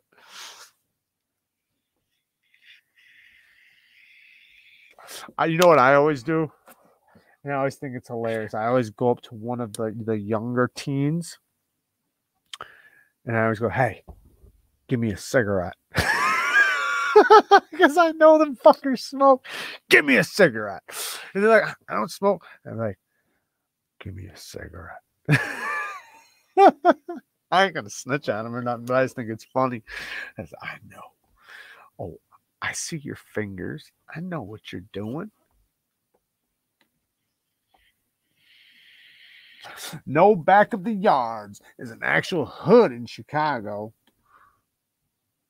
Talking about him is exactly what he wants. Yeah, I know. I know. But I get a goof out of it, so fuck it.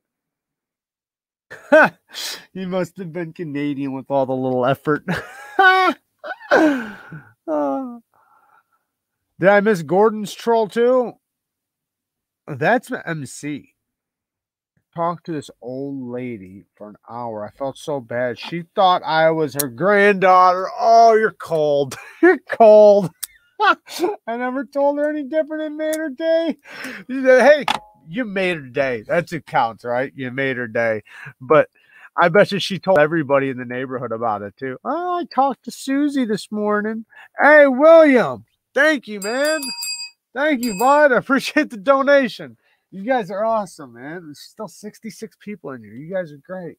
And it's 944. We will be getting out of here. I'll I'll give it like three more minutes. I wish I could think of another story to tell you guys. Um, I was thinking about telling this one story, but it is a little fucking crazy. And it is knife related, but I don't know if it'd be appropriate. Um, I don't really mind saying stuff at the end of the video because I feel like I can get away with a little bit more at the end, but I don't know. You know, with YouTube being the way they are, it's kind of crazy. Um, tell it, tell it, tell it. All right. It's 745 there. It's 945 here. All right. So this one is a little crazy. So um this is, I don't remember how old I was. I was like 15, 16 or something, maybe something like that. Anyways, it was before my dad got hurt. My dad got hurt when I was 17. So I can usually relate things to an age because of where I lived and what's happened in my life, right? What was before and after. Well, this was before my dad got hurt. And um I live in this apartment complex, and across the you know the street from the apartment complex is another is another. It's like a, it's a project, right? So it's just a bunch of group of apartment buildings, right? And they sit side by side, just one after another, right? And there's like a sidewalk that goes in between them, and that's how you get into them. so you can picture a bunch of buildings just one after another, right? And there's um there's another taller one in front of it. There's a basketball court on the side of it. The basketball court is like crazy as shit. Anyway, so we're in between these buildings and we're standing there. And so there's like uh a few of us. I don't remember how many because there was other people too. We were standing in a group of like three or four, and like down the sidewalk in between the building, you can see a person here, a person there, whatever, right? This dude comes walking by. And um I seen him walk by, right? And when he walked by, like he gave like this this look, right? Just walked by and just kind of like looked. The dude that's like kind of next to me, he's not like like right next to me, but like he's like next to me, kind of. He um he didn't see him. Dude just walks by, and like five minutes five minutes later, we're just sitting there shooting this shit, you know. And like five minutes later, this dude comes back around with a, you know, and comes up behind dude and just starts fucking drilling him. Just starts sticking him. Dude screams, right? Dude, I mean, just like he heard like the the, the pain and the gurgling coming out, just like a siren. Um, and he hits him like I don't know, five, six, seven times, just bam, bam, bam, bam, bam. And uh a bunch of people took off running, right? And we didn't take off running. Like, I don't know, dude, just so you guys know. Like, I don't know this dude. So, first of all, I'm not going to save his fucking life. I don't know him for shit. He could have fucking raped dude's daughter for all I know. I don't know him. So, I'm not like going to stick up for him or nothing like that. We didn't do anything. We didn't run or nothing, but dude took off, right? After dude stick, stick, stick, stick, stick. Dude took off around the corner. I remember seeing this girl. This girl start screaming and freaking out, and um, you know, we didn't know what to do. Uh, we were young, you know. You don't really know what to do. It's not your place. You don't know the person, you know. Like I knew the other people, like where who I was with, but there's like there's multiple buildings now. They know each other, but I don't know them. Right? It's kind of weird. It's like they know each other, but I don't know him, and um, I don't think he lived there that was another thing. I don't think he lived there. Uh, but anyways, dude didn't die. He was uh, um, at least as far as I know. I mean, he's probably dead now, maybe, but but uh, but no, it was crazy though because watching it, watching that, you know, it was like uh, seven feet from me, ten feet maybe, maybe maybe a few more feet. I don't know. It was right there though, and hearing that that sound, and I saw the whole thing because the angle I was at was facing down the alley, right? The two buildings. I'm here's the two buildings, and I'm like right here facing towards the dude. And when dude came back around and came walking up, I saw the whole time. I didn't know what he was gonna do, and like I said, I don't know him, but I thought it was crazy as shit. And that sound, I can still hear the dude, you know, like that scream. When you hear a man scream, it's pretty crazy.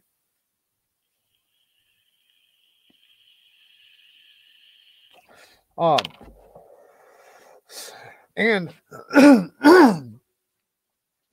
the ambulance did wind up coming. By that time, we were gone. I did not stay for that shit. We want them dipping out afterwards. Like we want them taking off like pretty quick. So like right away, we didn't run or nothing.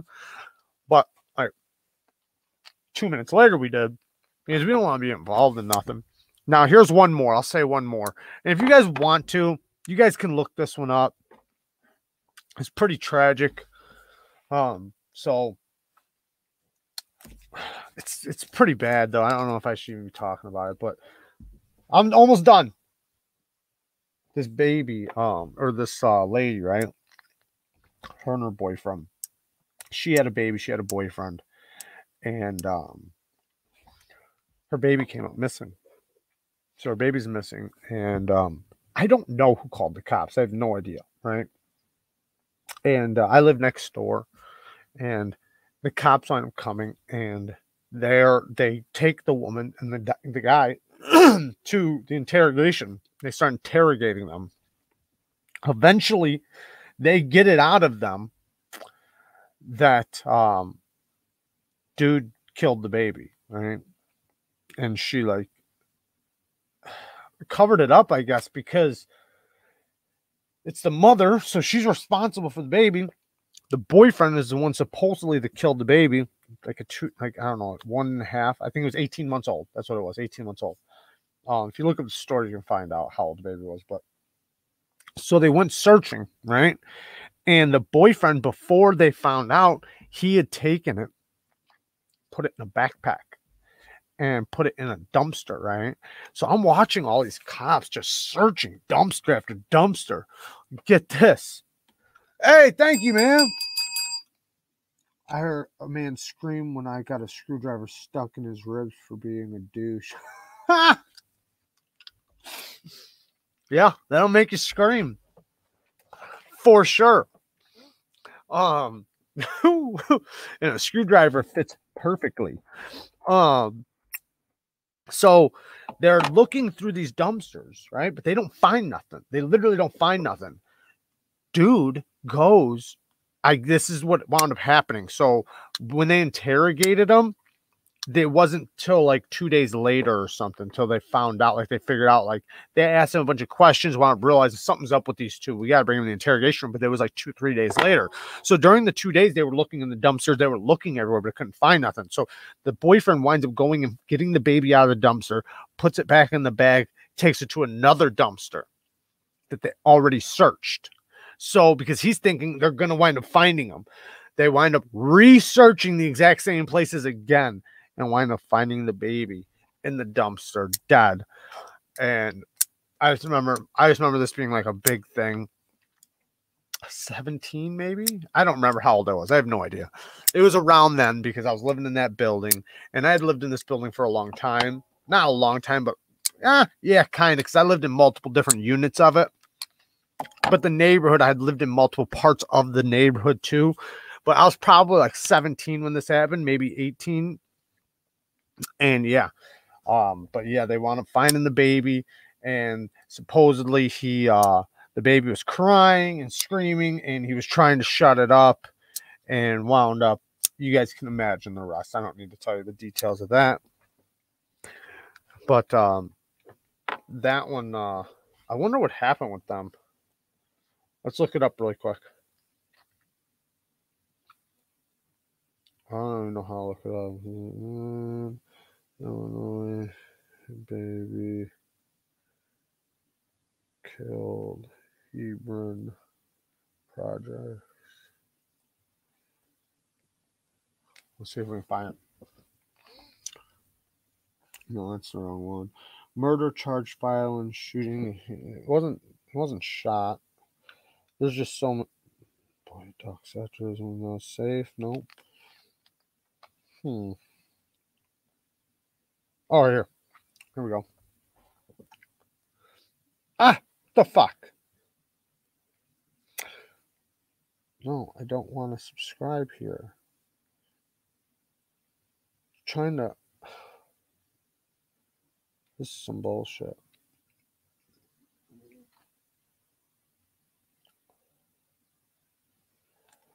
Whatever, I'll find another one.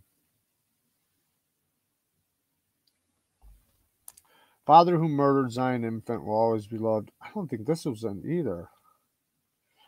A Zion man was charged Saturday, held $5 million bond, disappearance, 26 was charged.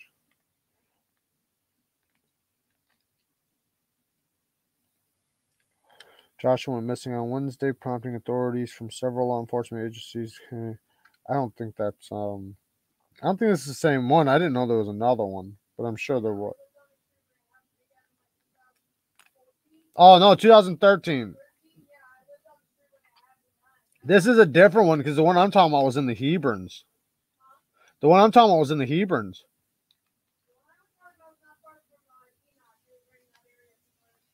Yeah, but that's um if it's not far well, it depends on how far because Enoch's like eight blocks away.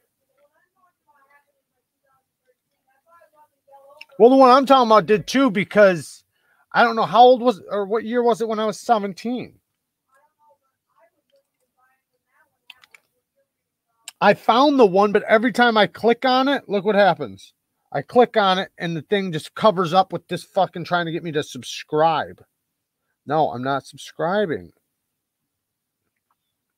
No, that whole time you were talking about that, I was thinking about like, what the hell? That same exact story happened when I was living there. Well, I'm sure it's happened a few times. But like with the backpack specifically and everything. In the dumpster? Yeah. Well, I want detail you said. but what but what I'm talking about happened on Hebron Avenue. I was literally watching it. The whole, I was next door to it. I don't doubt it. I'm just saying maybe the specific details are getting. Yeah, they might have been twisted because I literally lived right next door and I watched them search the dumpsters. I watched it all. I was like literally in the middle of it. Um because it was my neighbor. Anyways, I love you guys. Thank you guys for hanging out and thank you for all the donations. Thank you guys for being so awesome. Um, yeah, those websites are getting obnoxious. Just give us the story, don't hide. Yeah, that's what it did. Every time I clicked on it, it gave me the fucking Herald thing and wanted me to subscribe for a dollar ninety nine. It's like, no, I'm not doing that. I found another three other stories that were the same area, but just not the same thing. So, yeah, it's like magic, guys. It's like magic. I go, and she disappears. Who me? Oh, me? I didn't realize my pants were like curled down. Saw my belly button. Yeah, a lot of people are moving too. Can you say my name before you go? It'd make my day. What's up, Pogfish? Thank you for joining us today, Pogfish. Pogfish. I really appreciate you, buddy, for hanging out with us. I know you uh you've been here for a while hanging out with us, Pogfish. I appreciate it. Thank you. Chicago What is that? 23.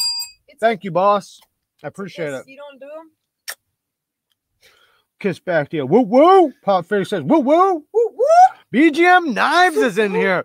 What's up, BGM? Um, I might have, I don't know if you heard me earlier, but I got an AD 20.5 coming, and I just might need a regrind done on it on a shark's foot. If that's possible, um, I should have it probably Monday or something, but um, I'm hoping we can talk about it because I'd like to. Um, I'd like to get that done. Shout out to BGM Knives. Definitely check him out. He makes custom made fixed blade knives. I have one right here somewhere. Bang. Here's one of them right here. He does regrinds. Definitely check him out. Awesome regrinds. I'd show you guys them, but I already sent them back to Talica after sharpening. So definitely check him out and get some regrinds and custom fixed blade knives from him.